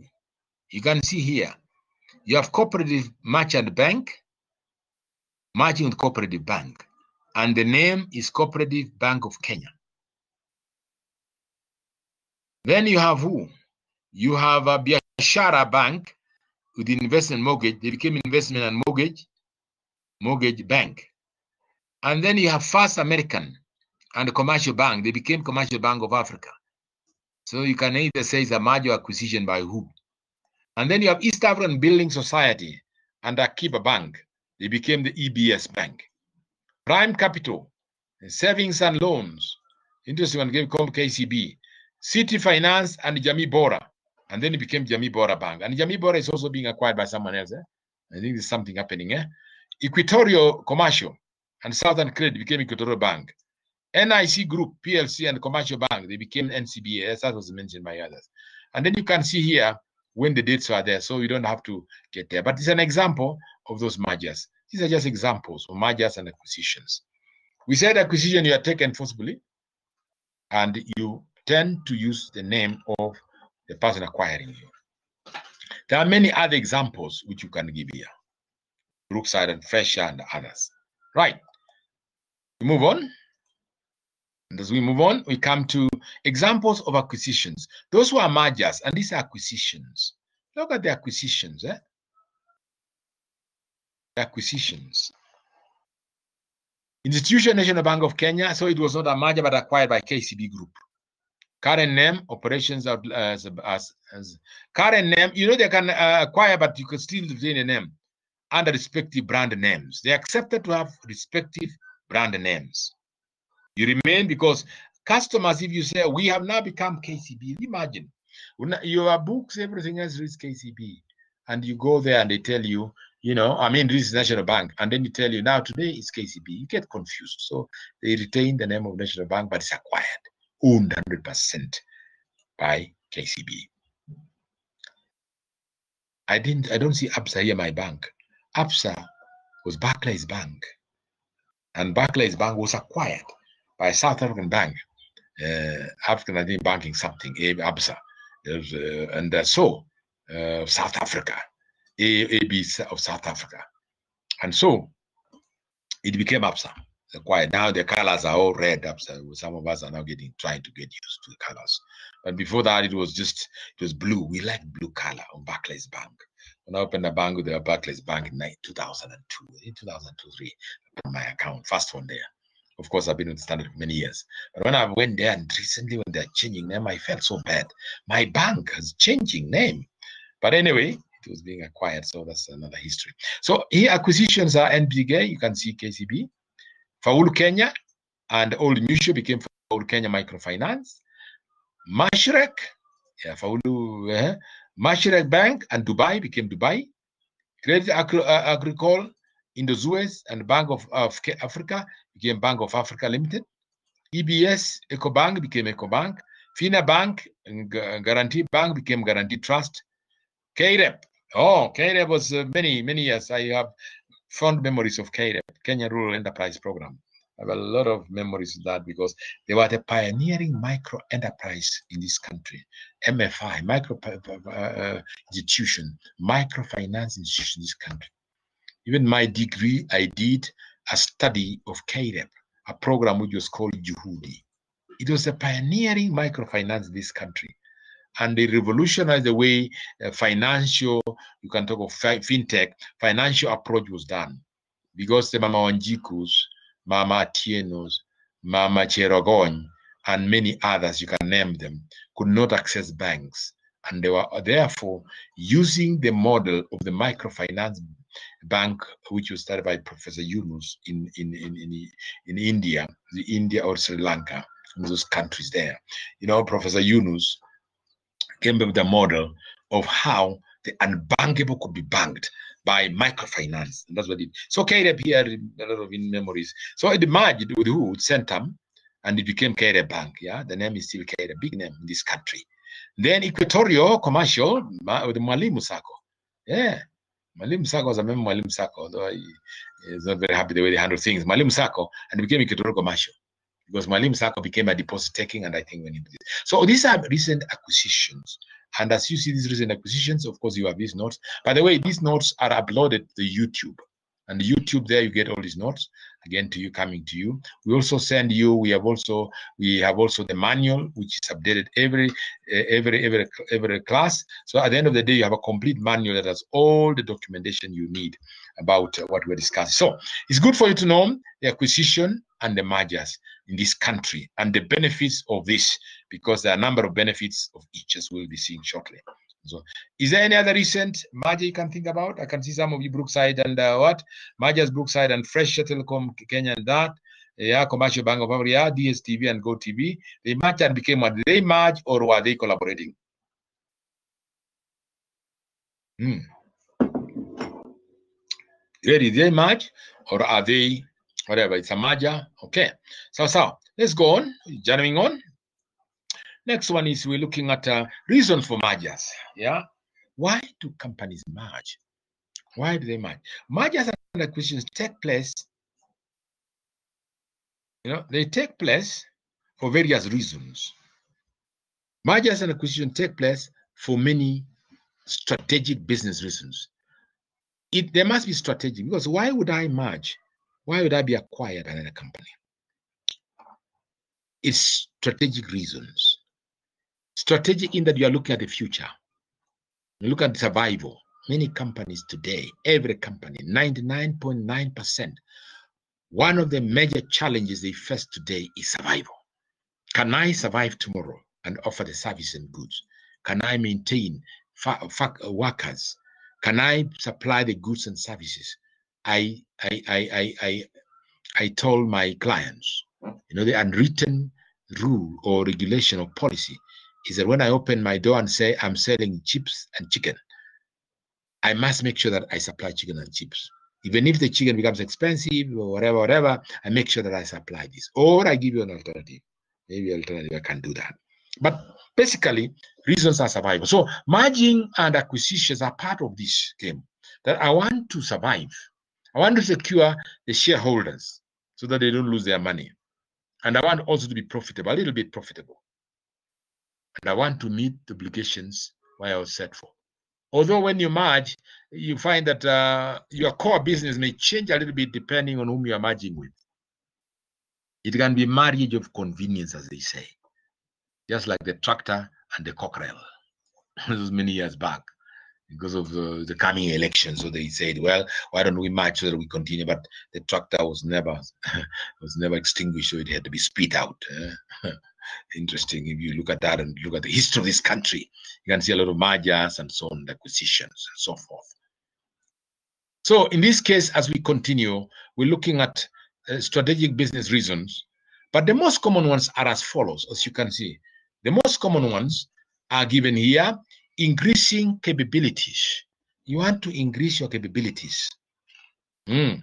that means it may come for expand research. Similar companies may be able to similarly the companies uh, want to combine uh, to leverage. Ford and volvo as you see that. Companies may also come from acquiring unique technology platform rather than uh, trying to build it so you are looking at capabilities that you are able to meet what are the capabilities you may not have those but the uh, company that's are merging with you uh, or acquiring you has all these advantages so you have the bigger advantages because of the bigger brother or bigger sister. In other words, that's what it means. Or if you are uh, competing each other, you want to complement each other. Some of the reasons that come in. Okay. A requirement for specific skills, specialist skills, acquisition rather of special skills and resources. It's a requisition. You need special skills and resources that your competitor has. The best way is to merge with them.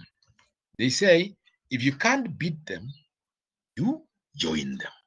Exactly what happens here. Can beat them, you join them. And that's what it is with merging. Let's merge, competitors. That's what's happened in this country. Although politically, you can see there have other interests coming in, handshakes, blah blah, those kind of things. Yes, people signing agreements post-election, before election, pre-election, all those kind of things. What are they trying to do really? They want, but they want to keep their identity, but they want to be associated with the winning, the winner, so that they can benefit a little bit. It's the same thing with the relationship with the sharks. Eh? When you see the sharks, tonight you watch National Geographic Wild. Just watch it and see the sharks. I think they're still dealing with sharks. Within the sh big sharks, there are small fishes. They are not swallowed by the shark, small, but they continue, they ride on the shark. They are going with the shark. They are either riding on top or by the wing side or whatever. Wherever the shark is, even if it goes in speed, they are following. Why are they there? One of the comments was saying that, you know, it has all this escort because they feed from the shark. As the shark uh, cannibalizes and eats the big, its prey, the leftovers that falling, falling off, these guys feed on that because they cannot feed on their own. They're not keen on their own. It's like the hyenas, by the way. Hyenas in the wild is another one. Hyenas, what they do, they don't kill. Of course, they can kill small small prey, but basically they hover around the bigger ones, the, the, other predators like lions and so on. So when the lion or leopard kills an animal, hyenas are very interesting. You watch this again, very very interesting. You find that it's very cruel world. You know the lion lionesses are the ones that kill. So they go to the field, they will look for, a, identify a gazelle or whatever, they will chase it, they will work together as a team, they kill it. They are tired. Lions can go with speed, and after killing whatever, they get exhausted. So they sit down there to watch their, their prey they've killed. It is there. They eat a little bit. As they chew a little bit, probably the hyenas now come. Big numbers. They are hungry, you know, and they're making a lot of noise. Wow, coming in, you know. And they come in here now. With their numbers, they intimidate the, the lion. And if the lions are few, they'll be intimidated away. They'll leave their food and go. The hyenas now fight over it. Interesting. Hyenas are hovering. They don't kill, they hover around. So the bigger companies, you know, the question of merging. You see where these companies going places. I can't go there myself. We merge with them. Or I accept to be acquired. So reasoning capability, strength of killing, prey, strength of being able to identify. Yeah, it's done by the big company, and you are there benefiting. Okay, enough with that. Acquiring special skills, yeah, skills of killing and so on, so speed and so forth. So even companies are the same thing, uh, and this happens quite a lot in uh, international organizations and so on. International companies, the multinationals. So what happens when you read about mergers and so. On, there's reason why they merge. Others things, other reasons include gaining competitive advantage or larger market share. Yep, you get a market share. You can get competitive advantage if you are the bigger company, the acquirer. You know, you now become more competitive, uh, or if you are merging with another company that has own unique unique skills and knowledge, you acquire it and you synergize because synergy now comes in here and you now gain a competitive advantage, a larger market share. Companies can decide to merge in order to gain better distribution marketing networks. Company may want to expand into different markets where similar companies already there. So it's easy to merge with a company with a company in another country. Go and scout South Sudan. What companies, local companies are there? Are they willing to merge with us so that we have a bigger market in Sudan? May not be able to get there ourselves. It may take a lot more. But if it's already a company is established and we can look at it, look at its profile and its potential and growth, we can match with them. Yeah. And then, of course, we retain their names. Both they can retain their name, or we we can see uh, we can negotiate how this is done. Diversify products, yes, possible. You want to have more products. You only be dealing two lines, and the other lines that are being dealt with a smaller company, other companies. Why not merge with them so that you have a bigger market share? Diversification of products. Right. And then finally, as we come about here, surviving. It's about surviving. You either join us or you die. That's why it means if you can't beat them, you join them. Else you die. So you want to survive. It's never easy for a company to willingly give up its identity to another company. But sometimes the only option in order to the company to survive is for survival. During the financial crisis, many banks merged in order to, to leverage, deleverage failing uh, balance sheets that otherwise may have put them out of business and their dinosaurs, dinosaurs in the past ones. So survival is key thing. They talk of survival. You merge to survive. A drive for increased management effectiveness and efficiency. Yes, again here effectiveness in terms of management skills. There's a company that's doing very well because it has hired the best um, managers, and so we want to enjoy that by merging them. These are things that happen. It's like marriage of convenience. You marry because you want to benefit from them, and therefore you stick there and continue benefiting. You want to go into many other things there, but I just talked about those. Those are things that happen. So before we look at the overview here of reasons for mergers and acquisition, can you mm -hmm, give us?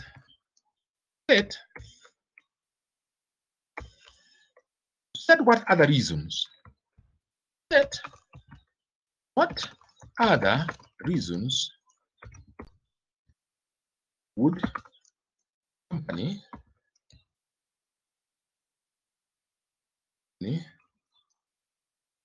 company use to merge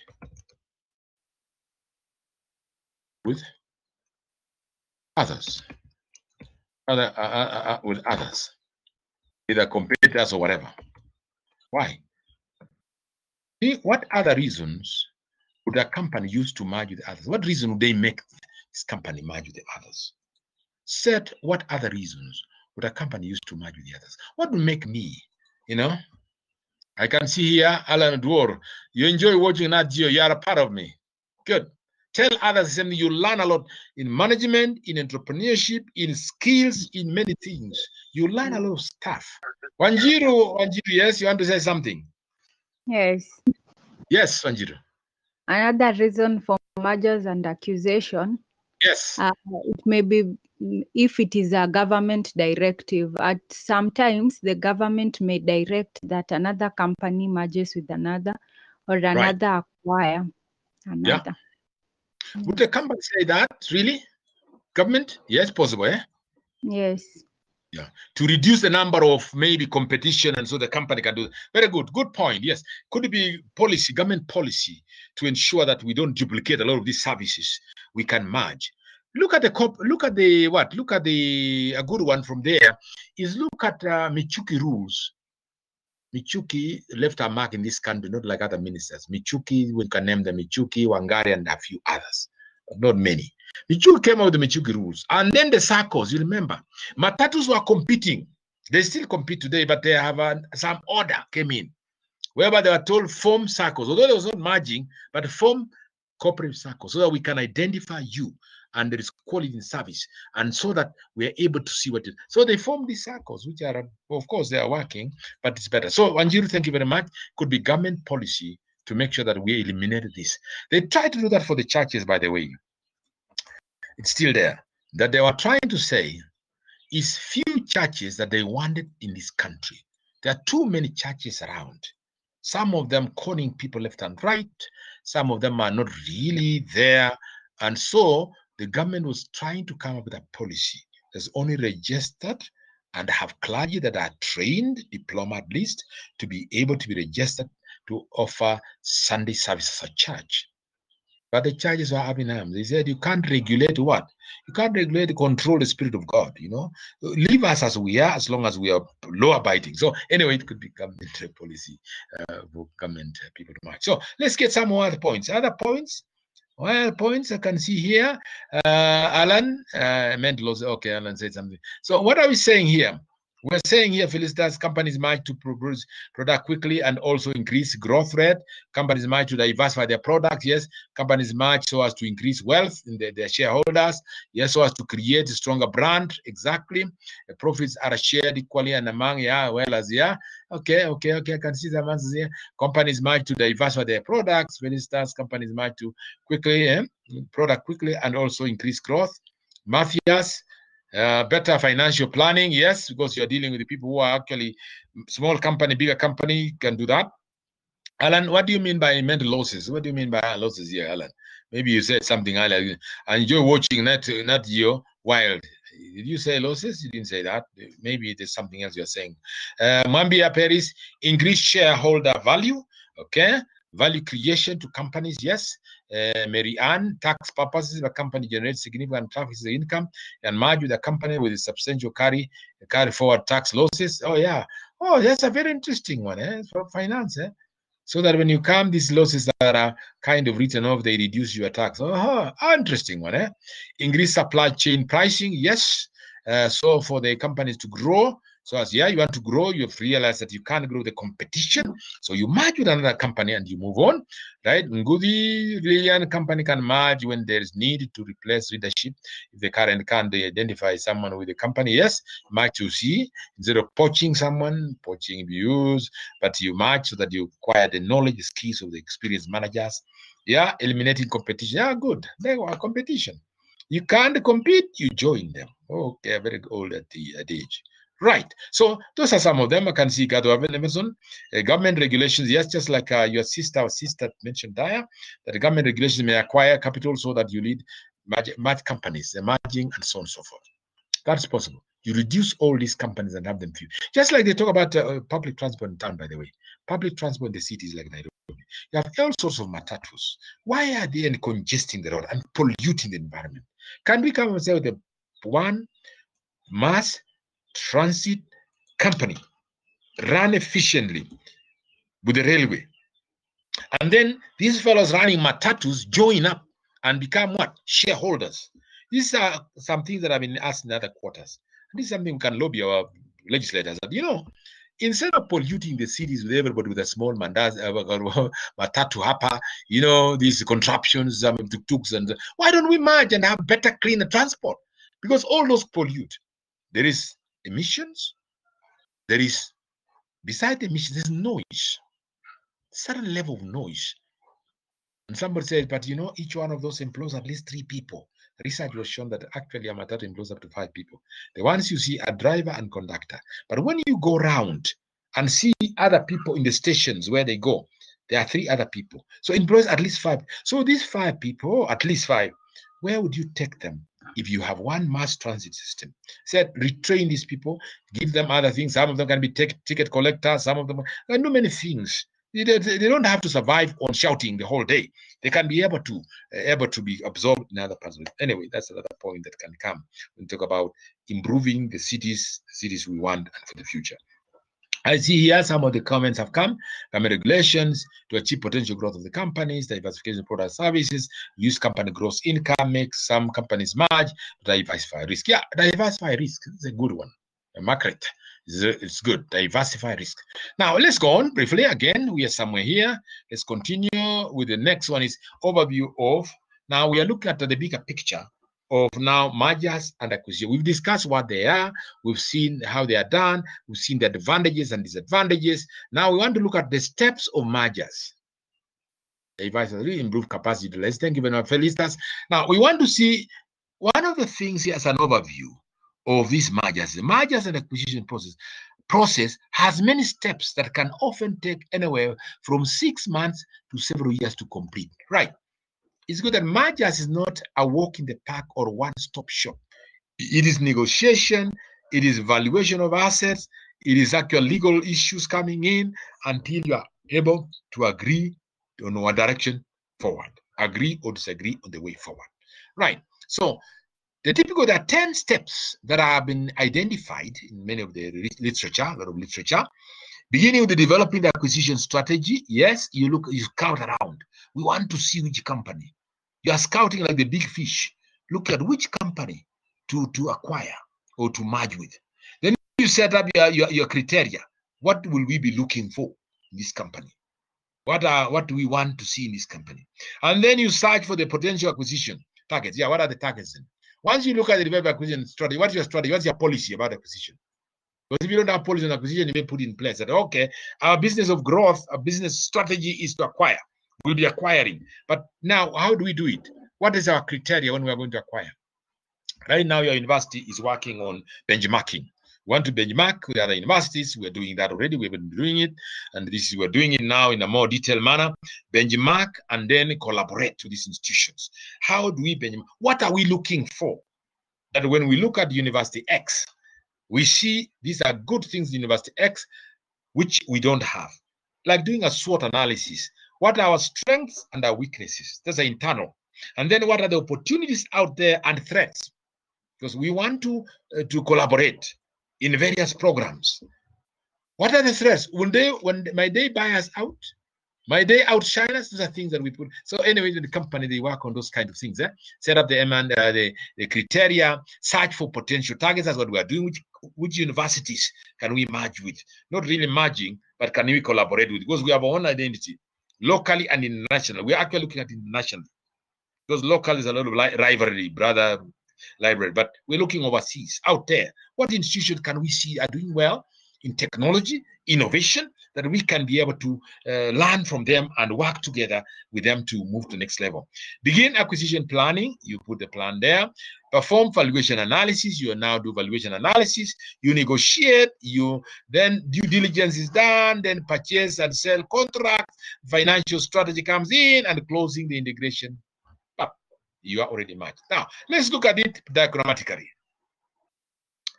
Yes, that's the journey. Wow. Interesting journey. A little bit bigger. Interesting journey. You know, the guy at the beginning, you are here. You're the policies, the guidelines that you're thinking about. You put together your strategy. How do we want to? Because you cannot just go into the war without sitting down to count, to look at we are going to war.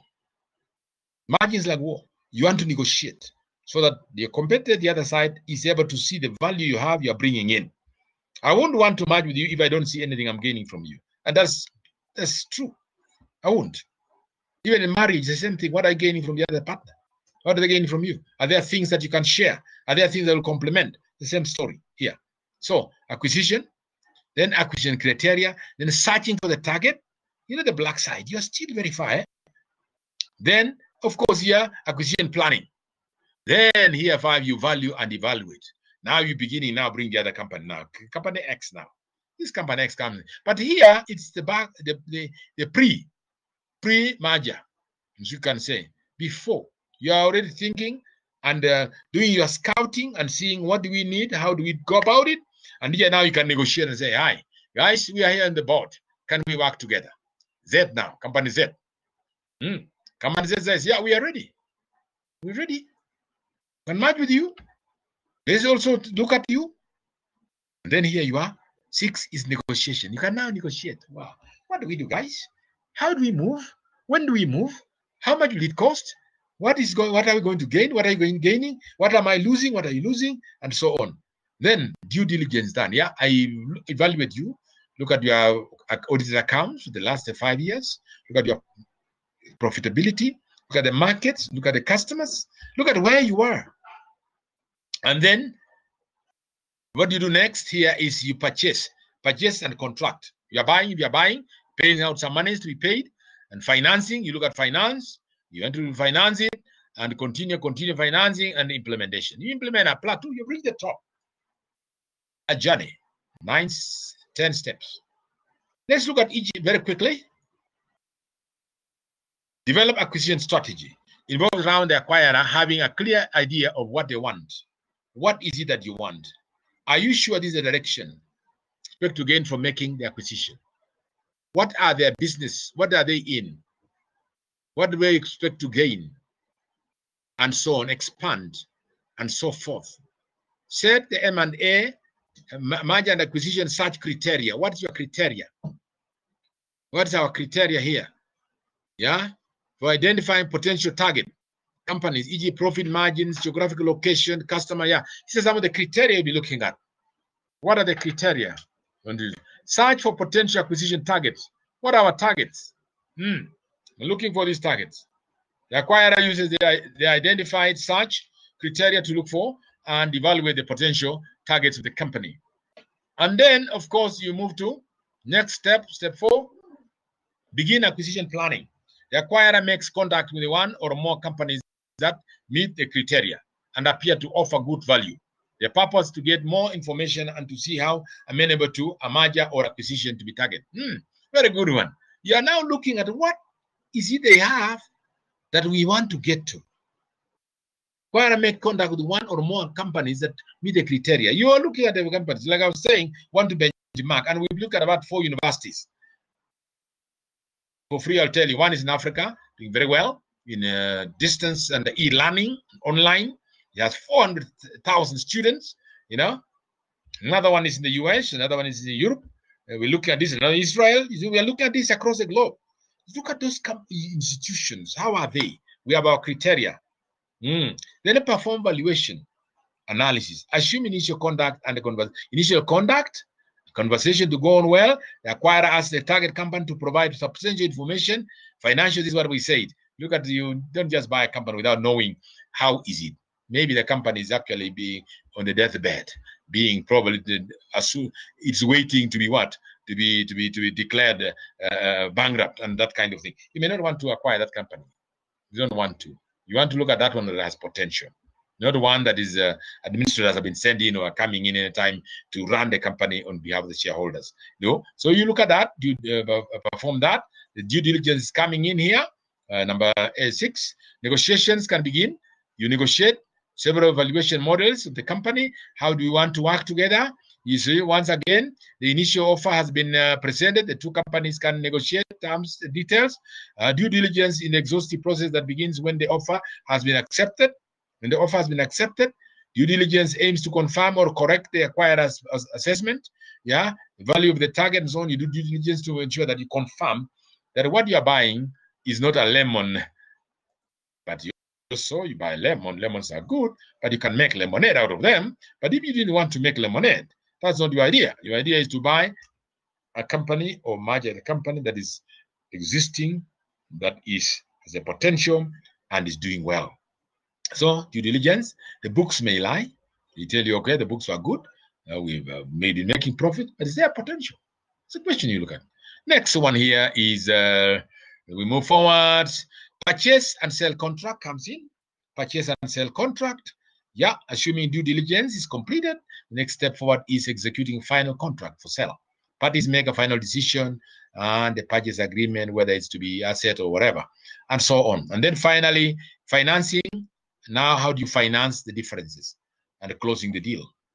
Decision closes and management teams of the of the target and acquirer work together to the process of merging the two firms. Now, action, move to together. That's what it means. A journey takes six or more months to acquire or merge, to merge or acquire a company.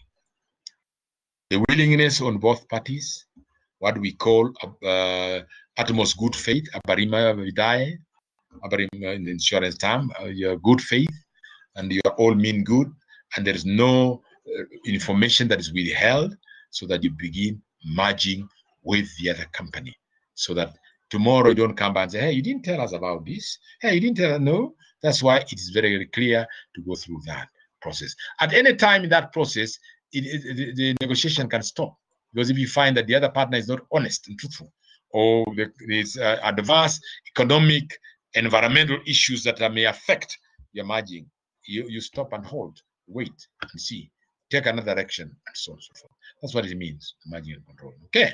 Now, after finishing that, you can see it's a long journey, eh? not very easy. Yeah. Now, the types are here. We're moving quickly. The types of mergers. There are five types conglomerate, horizontal, market extension, vertical merger, and the product product extension merger. Now, this you can see recall from what? You recall from the vertical integration. Some of them are common here, like horizontal merger, like vertical merger, product ex extension merger. All these are common. The term chosen to describe the merger depends on there are three things it depends on. Which term of this do you use? Is it horizontal or whatever? Depends on A, economic function. It's economic function of your merger. B, purpose of the uh, business transaction. Why are we doing this? Maybe you want to do vertical integration. And then or relationship between the merging companies. What would be a relationship? If it's a vertical merger, it means you have acquired the vertical, going all the way to uh, to the production or if it is horizontal, you are acquiring companies that are around there. And so the time relationship between there. Right, moving quickly, quickly, quickly. Uh, huh, next one here is there's a picture there. Wow, interesting picture put it there of two gentlemen or ladies or gentleman and lady pushing together the two companies, merging. As we see that company, we see this from uh, I, the source is iStock eh? and the search iStock. You see, these companies are coming together for a purpose. They are merging. Every reason we mentioned on the other side of the reasons they can merge, and they are there. You can see the given. The reasons are there. They can merge. Why they merge? Uh, we've mentioned them earlier. And here this, you can see the smaller one and the bigger company. This is a bigger company. It's a smaller company. They want to see if they can fit in very well, you know. And then when they fit in, they can run as one company, one big company. Yeah. Messages below here, I can see improve capacity utilization, diversify risk exactly. They diversify risk when these two companies, when this company, this one merges, using products, yes, services, this is a unique services, unique services, yes, achieve potential growth. Yeah, they can grow now. As a big company, they have a bigger share. They can grow. Okay. And then improve capacity utilization. Some companies can also merge to pull results together, restore the image. Yes, lost image. Exactly. Exactly what that's what's happening with this company. That is a picture, very interesting picture. Hmm. And you imagine others just begin reflecting on this picture. And this picture is showing something. Eh? Wow, companies merging. It's possible to merge. And uh, you can merge. There are all benefits. There are all pitfalls, of course, of merging. The disadvantages are there. I don't know if we saw the disadvantages of merging. We may not have seen them. We just saw the advantages of merging. Can we think of the disadvantages of merging? You did. You mentioned about loss of identity. You know, you are no longer there you are gone in terms of as a company, gone and gone for good because uh, you are now swallowed up by the other. Hmm. Right. Types of mergers, here again, there's this in details. And before we look at this type, even trees, you've seen trees. Eh? There's a particular tree that swallows other trees, a parasite, parasitic. It normally grows and you can see if you are, you are, you are observant and um, observe the natural environments many times. I look at the natural environments and plants and trees. It's something very good, ladies and gentlemen. I encourage you look at observe nature and how things happen in nature. Some of them inform us even in business that there is another tree that takes over the other one. The mugumo tree is mugumo tree. I think it's like the mugumo tree swallows the other ones. If, if the seed is deposited by a bird because it has fruits, on one. Woe to that tree. Once the seed germinates, it will slowly sink its roots, get into the sap of this main one, slowly swallow it, and completely kill it. Merging. Trees, this merge, and very, very interesting. Parasitic ones do the same thing, they destroy the main parents. But nevertheless, uh, that's another story for another day. Conglomerates, what are they? Types of mergers. A merger between firms that are involved in totally unrelated businesses. They are conglomerates between the Walt Disney, for example, and uh, ABC. They merge. This is conglomerate. They form huge companies, one group company, huge company that has a lot of companies, sub companies that are actually subsidiaries, you may say, that are not related business. They are there, conglomerates. Horizontal merger, a merger that occurs between firms within, like the oil companies. At the same level, the refineries can be all the refineries can be able to buy the refineries at the same level buy all those, acquire them. We saw in the picture at the beginning. Remember the refinery, they're buying all the small refineries. That's horizontal merger. Market extension mergers takes place between two companies today that deal the same product but in separate markets. Same product but separate markets.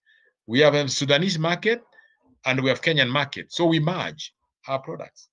Same company, different companies but dealing in different markets. Eh? Takes place between two companies that deal in same product but different markets. So we merge bigger market. We can also merge product extension mergers. This place between two companies uh, deal with products that are related to each other and operate at different at the same market. Yeah, different from each other, the same thing. Verge and vertical merger between two companies producing different goods or services from a specific finished product. E automobile company joining with a parts supplier.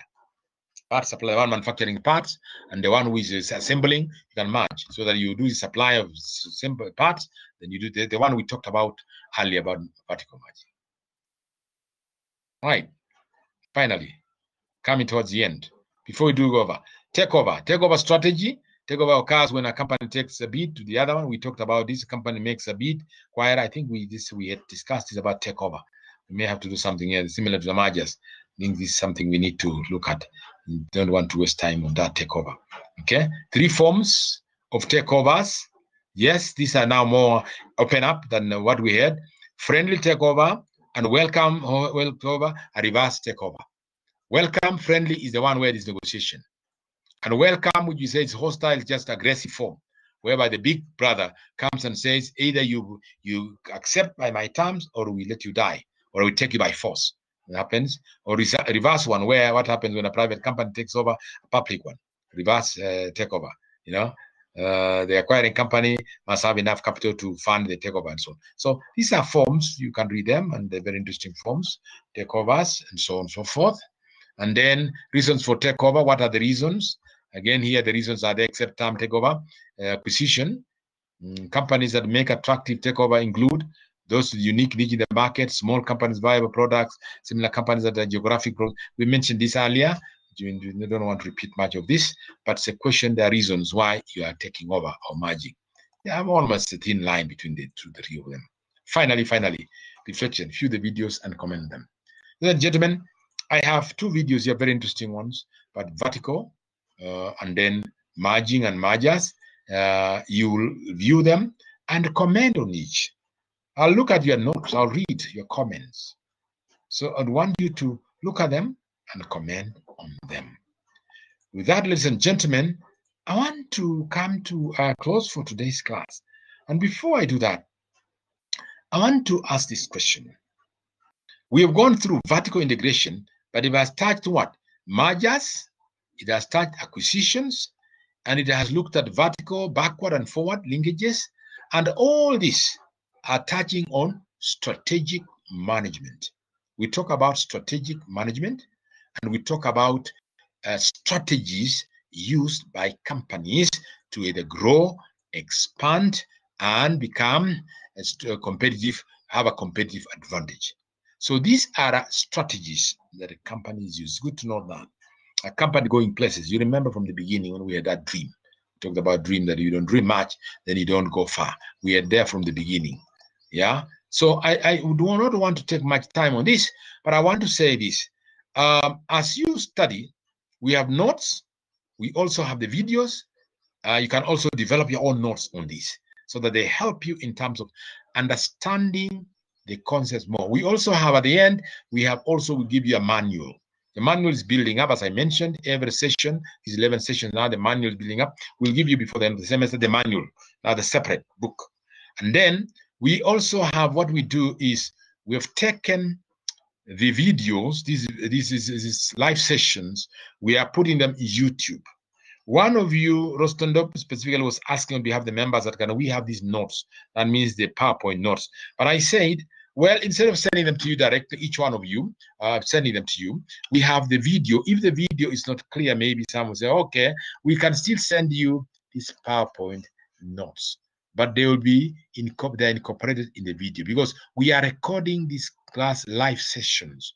And as you see, eh, maybe you can see in your button, this recording is live. We've recorded them so that they help you in terms of understanding the concepts more. What I want you to do, ladies and gentlemen, is not to gram or memorize. I want you to understand the concept and see the process. When we talk of vertical integration, what do we mean exactly? Can we talk about it and its expansion? Why is it? What are the benefits? What are the pitfalls? How can it be done? Are there examples of companies that merge and things like those? Those are the things that I was just going to mention here. And finally, I want your comments. May I have your quick comments on the class? Quick comments. This class. Quick comments this this session for this session. Quick comments for this session for my own feedback for this session. And as you do that, uh, somebody, uh, I think your class rep, one of the class reps, Rostendub and the other, was asking about uh, neck cut. We'll give you a cut next week. That is cut two. We'll give you next week, cut two. Uh, we still, as you, you know, we still will continue up to the end of that's week one. Eh? That's the first week of August. Uh, we'll give you cut two. And then, of course, assignment two. You have an assignment you are working on, and you are working in groups Remember, you're working in groups, groups of five. And if there are people who really cannot be able, there are 15 companies, eh? and if there are people who really have a, a problem, uh, that those groups, please let me know. Otherwise, groups of five, so that you work on that semester assignment. That is very important because it gives you now ideas and it cements this course in terms of the strategic strategic plan, which is actually more or less the blueprint of strategic management process. With that, I want to end there and wish you God's blessings. Thank you for those comments. I can see them there. Some companies can also merge. I can see there. Uh, nice, good session. Class was fantastic. The class was interesting, very nice. Though the problem with the network connection, some of you probably for that uh, was good. Yes, it was good session. Interactive. Yes. Now I want you in future to be able to spare a few units to to be able to uh, i know the problem people are using uh, only audio you can also be occasionally uh, comment directly when we ask you questions, please. Otherwise, I want to wish you well. Uh, Dorothy, you are the beginning, you are there at the start. Thank you very much for being there to the end. And tell your friends the station, the train left station. I can see you are 32 here, 31. Where are the others? You know, it's not good for us to be following up people and finding out where they are. I'm taking, of course, what we call roll call.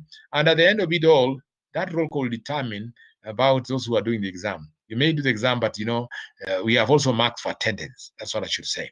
That unwritten marks for attendance. So make sure you attend and you in the in the you also uh, interact, and that way it will be out of uh, as we continue. We're doing well. The exam will be out of 50, by the way. Oh, oh, oh somebody was asking how will the exam. In fact, this semester we are moving towards that. And uh, I'll clarify that next time, Eliud Mugoe. You've said it. Yeah, I'll clarify that. Yes, thank you very much. Otherwise, I want to thank you and end this session. May the Lord bless you. Look, view those videos. Please make sure you go there and then make your comments with your one, video two. Thank you very much, and God bless you. Asante sana. Yeah.